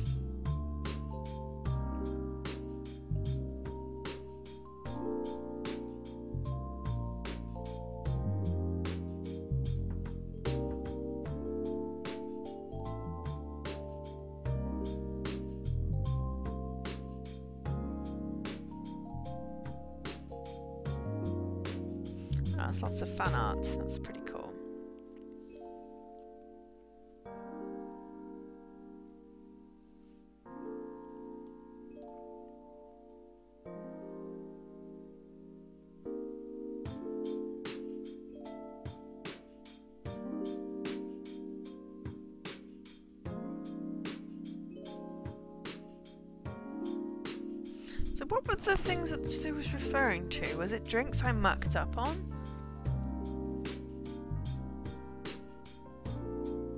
So if I do a perfect, perfect run, do I get a different story? Don't know now. I have to do some research. I don't.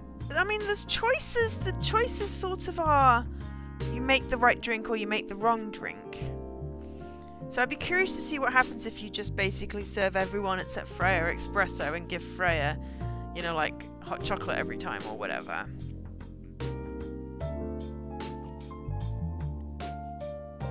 It's gone through a lot of iterations by the looks of it.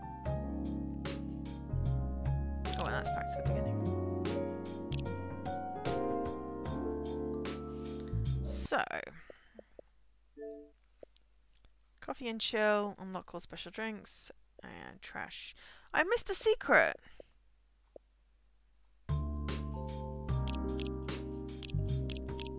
Okay, so if I do change barista, so I mean the game progress is not. That could be the number of special drinks, I suppose. Hmm. I'm going to have a, a quick look because I've basically finished a playthrough, so we can have a look at the guide now, or at least have a look at what TA says. And I'm going to sit up because I'm slowly getting shorter and shorter in the window. keep on. I've got a bandage on my thumb because it's split. I keep on trying to use my thumb to do stuff, and it's not working. Not one. Okay. Where's the other secret? Uh, find the secret behind the barista.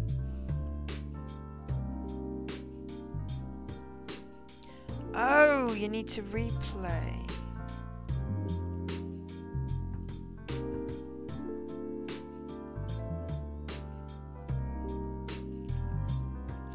Right, so this is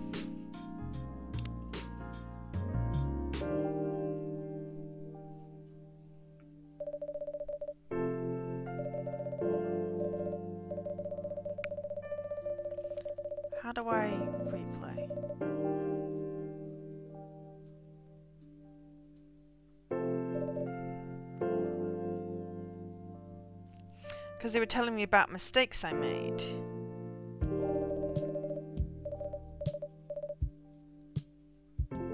Maybe I needed to do load game.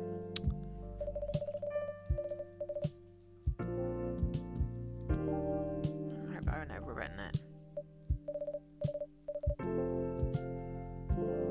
Because it was talking about dates and uh, the, there's dates in the guide. Sorry, I'm just looking at the guide for the dates.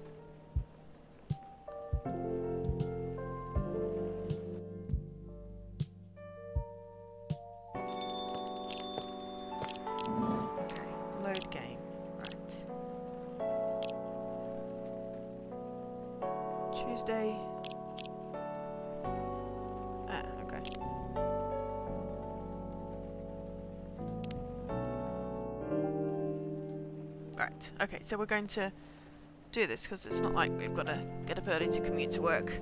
We've still got at least an hour. Okay, Tuesday, September 2nd, 22nd.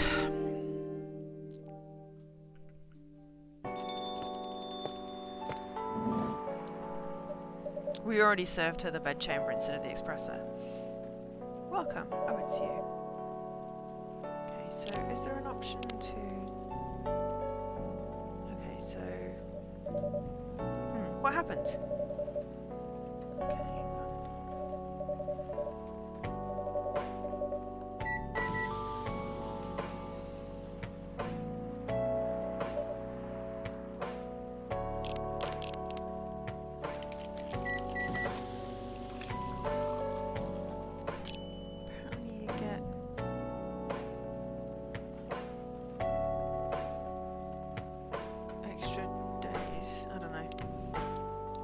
dialogue or something. Okay. I'm not gonna read everything.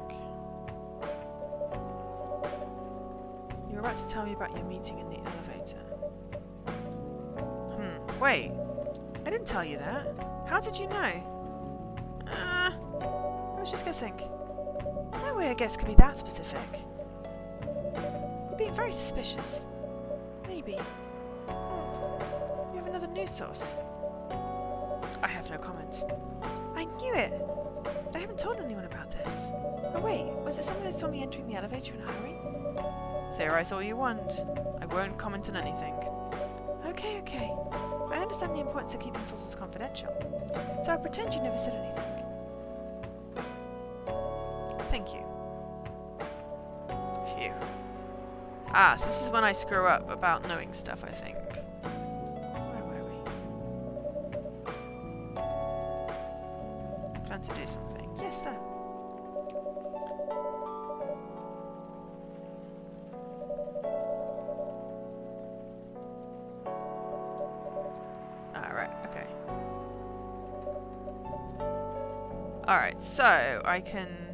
That was the extra bit there. So we're just going to fast forward through everything. Anything with chocolate in.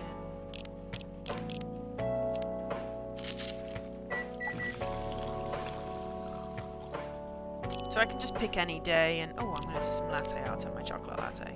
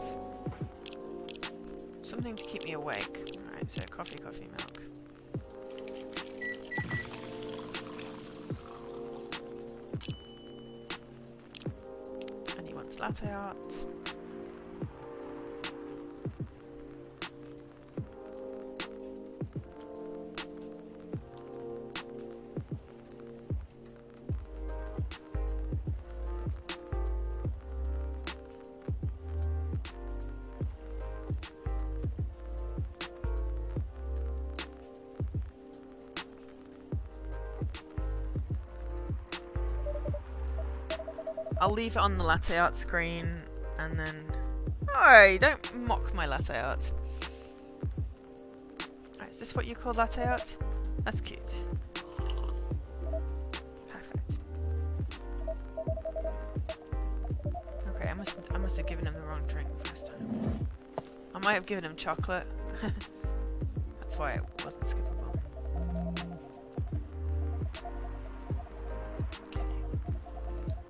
Find out what the big secret is.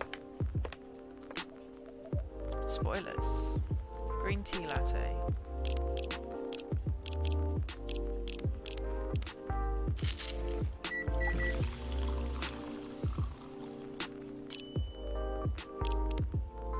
Oh, I don't mean to trash it. Just trying to draw on it.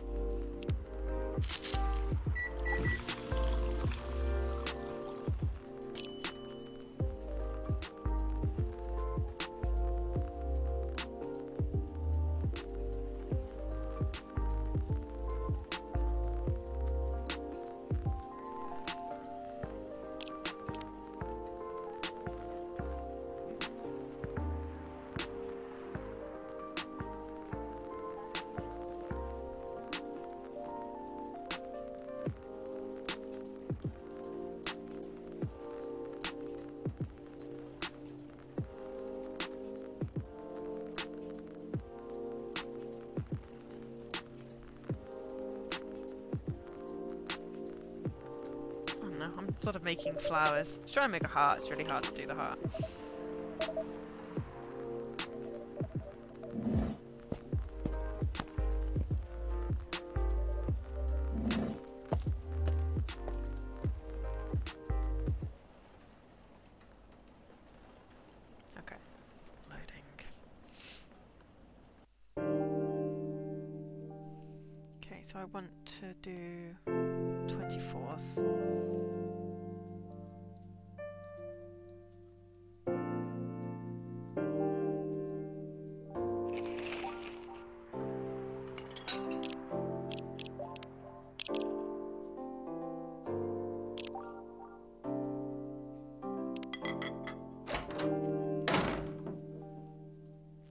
So we'll do it until we get new dialogue.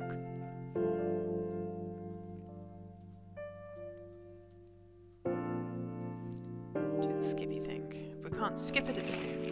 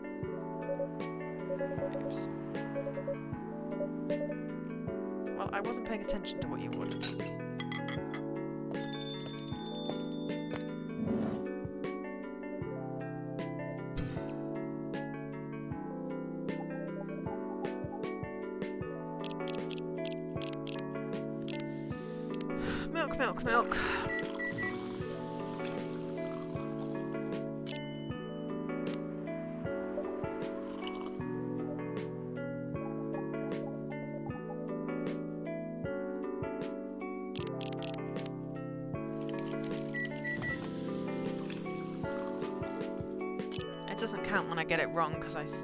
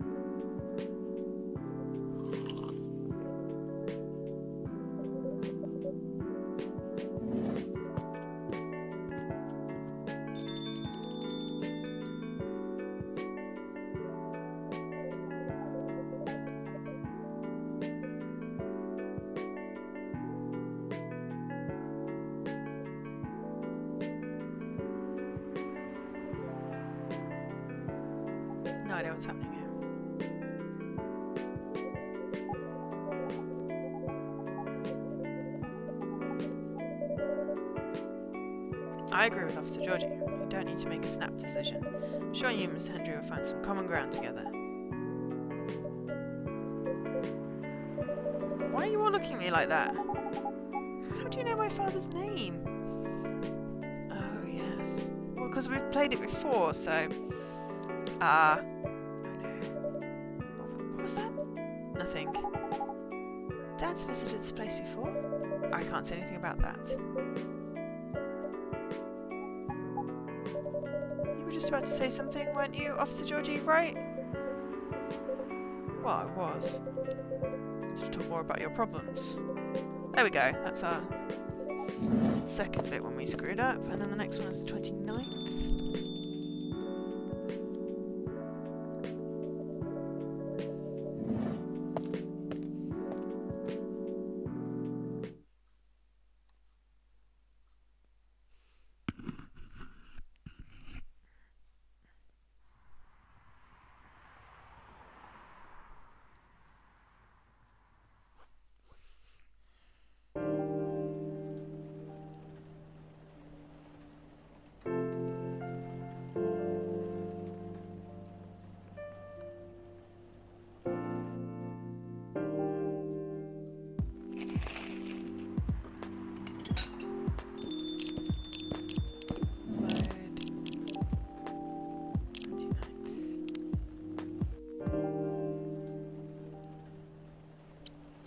Makes you thirsty and an alien.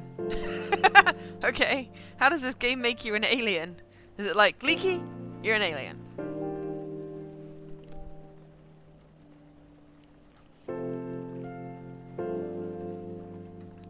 You should have made tea in my tea break.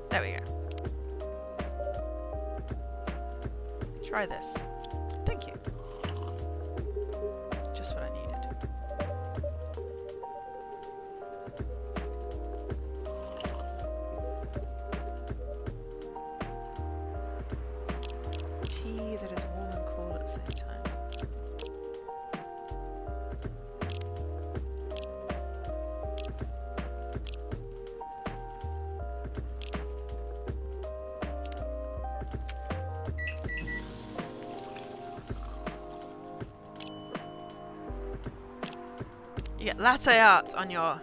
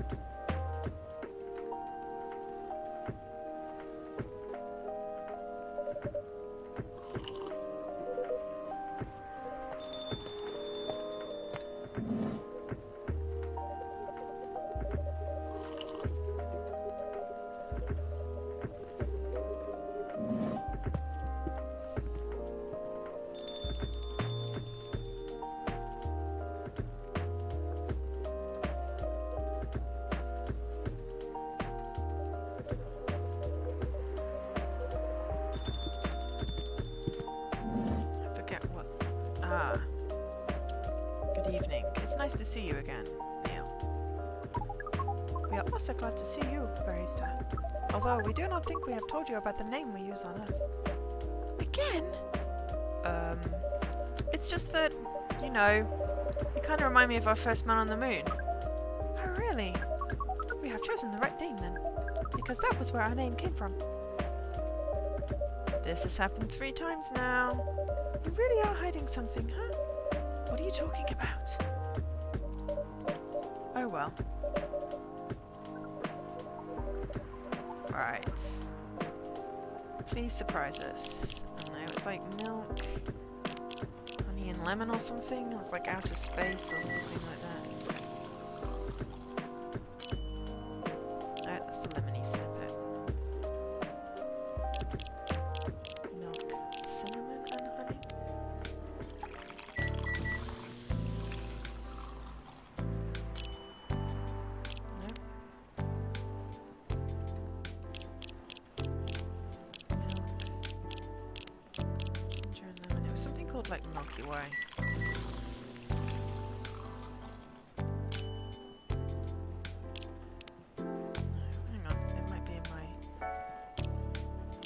Pad.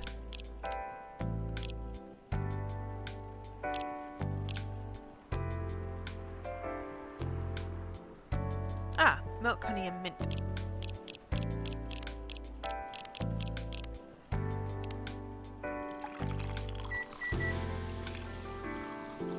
So I'll just load days and serve like different drinks and trash them and do latte art. For US, that's how they drink.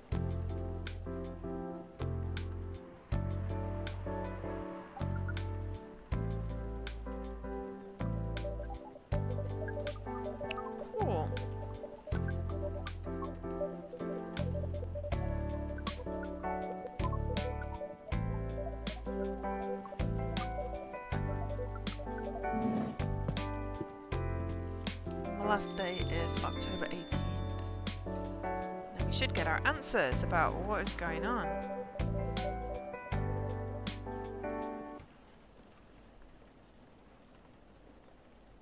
Of course, it's a lot easier to do these when you're just basically skipping everything. this game would just go really quickly if you skipped everything. But then you wouldn't have the story! Why would you want to do that?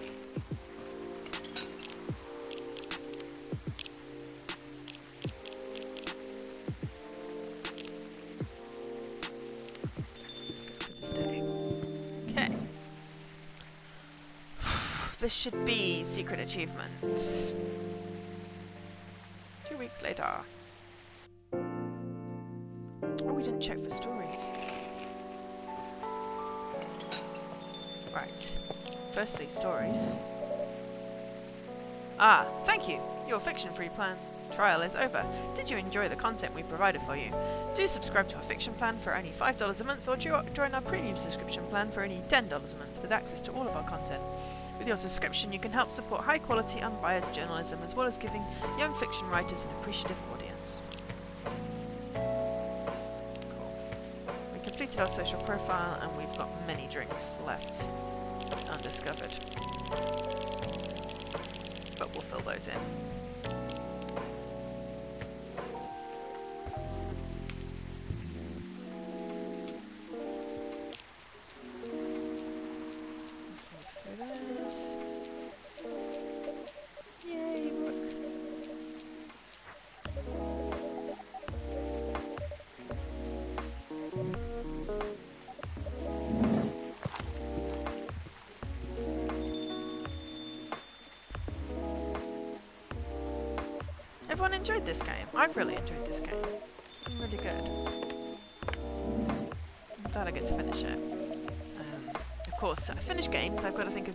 Start. And at some point, I do have to go back to Control. Because I... I, I by the way, I haven't seen your final draft. May I read it? Sure. I brought an extra copy.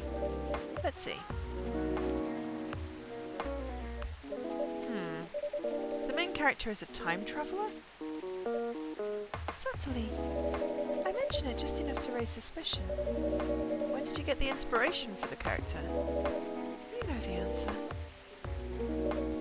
Why would I? Either you're smart enough to get what I mean, or you already know what my answer is. Gulp. Don't think about it too much, it's only a story. Anyway. What's that look for? You haven't told me any of our other about any of our other friends here. Okay. Right, okay, so we're a time traveler, not an alien, but. Or maybe we're a time traveling alien.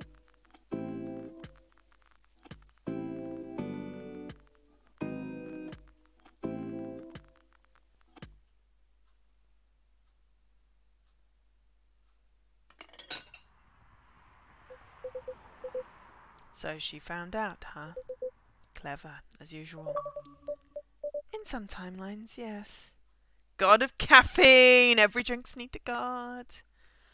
Oh god, I would love to time travel and fix some stuff, but yeah. In some timelines, yeah. But I have to ask you this. Why? Why what? Why do all this? Opening the cafe, connecting people. I just like to make things sure things go okay. Yeah, exactly that in Nonary games. No, you were talking about syrup and the ultimate sweet when you were talking about the nonary game, uh, Dan. This is a completely different game. Besides, yes, I also have to make sure that I'll exist on Earth. Ha! That's one of a hell, hell of an important task indeed. It is. That's got to be her dad then. My dad. Their dad. That's clever. I like that. So now I'm missing all achievements, special drinks, latte and trash. So I'm going to do those in my own time. Um, technically not the same stream. I did stop and start again. Where are we? I went in screen. Okay, dokes. Oof. I got stuck again. That was a good game. So, um, I'm not going to do any more of the syrup one or this one on stream. They're done now. Um, same day, okay, you win with the same day. Um, I will come back on. You know what? I might stream tomorrow. We will see. Um, because I have nothing better to do and the cinema's closed and no one's supposed to be going anywhere. So unless Jesse wants to stream or we could co-stream, I mean, you know, world's oyster. If someone wants to co-stream, I'm happy to play like a butt ton of Overcooked. You know, I'm happy to do that. I've still got two DLCs, um, though I don't know where the levels exist for those, but I'm sure I can find them. Not two DLCs, but um, two title updates. They didn't have any achievements, but they added more levels, so, you know, could always do some Overcooked. I don't know, there's plenty to do and I'll probably be back more times this week because working from home I'm less tired. It's brilliant. So yeah, I'll probably see you tomorrow, but if not, I'll be back on Thursday with The Clocker, which is a game that was funded by Ray. I think it was a happy Christmas or a happy birthday or something like that present. But either way, thank you. But for now, I've had fun today. Um, Syrup and Ultimate Sweet wasn't that bad. Coffee Talk, brilliant. Glad to finish the story. Um, but for now, yeah, I've been Jo, otherwise known as Angel SK. Thank you so much for watching, and I will catch you very, very soon. But for now,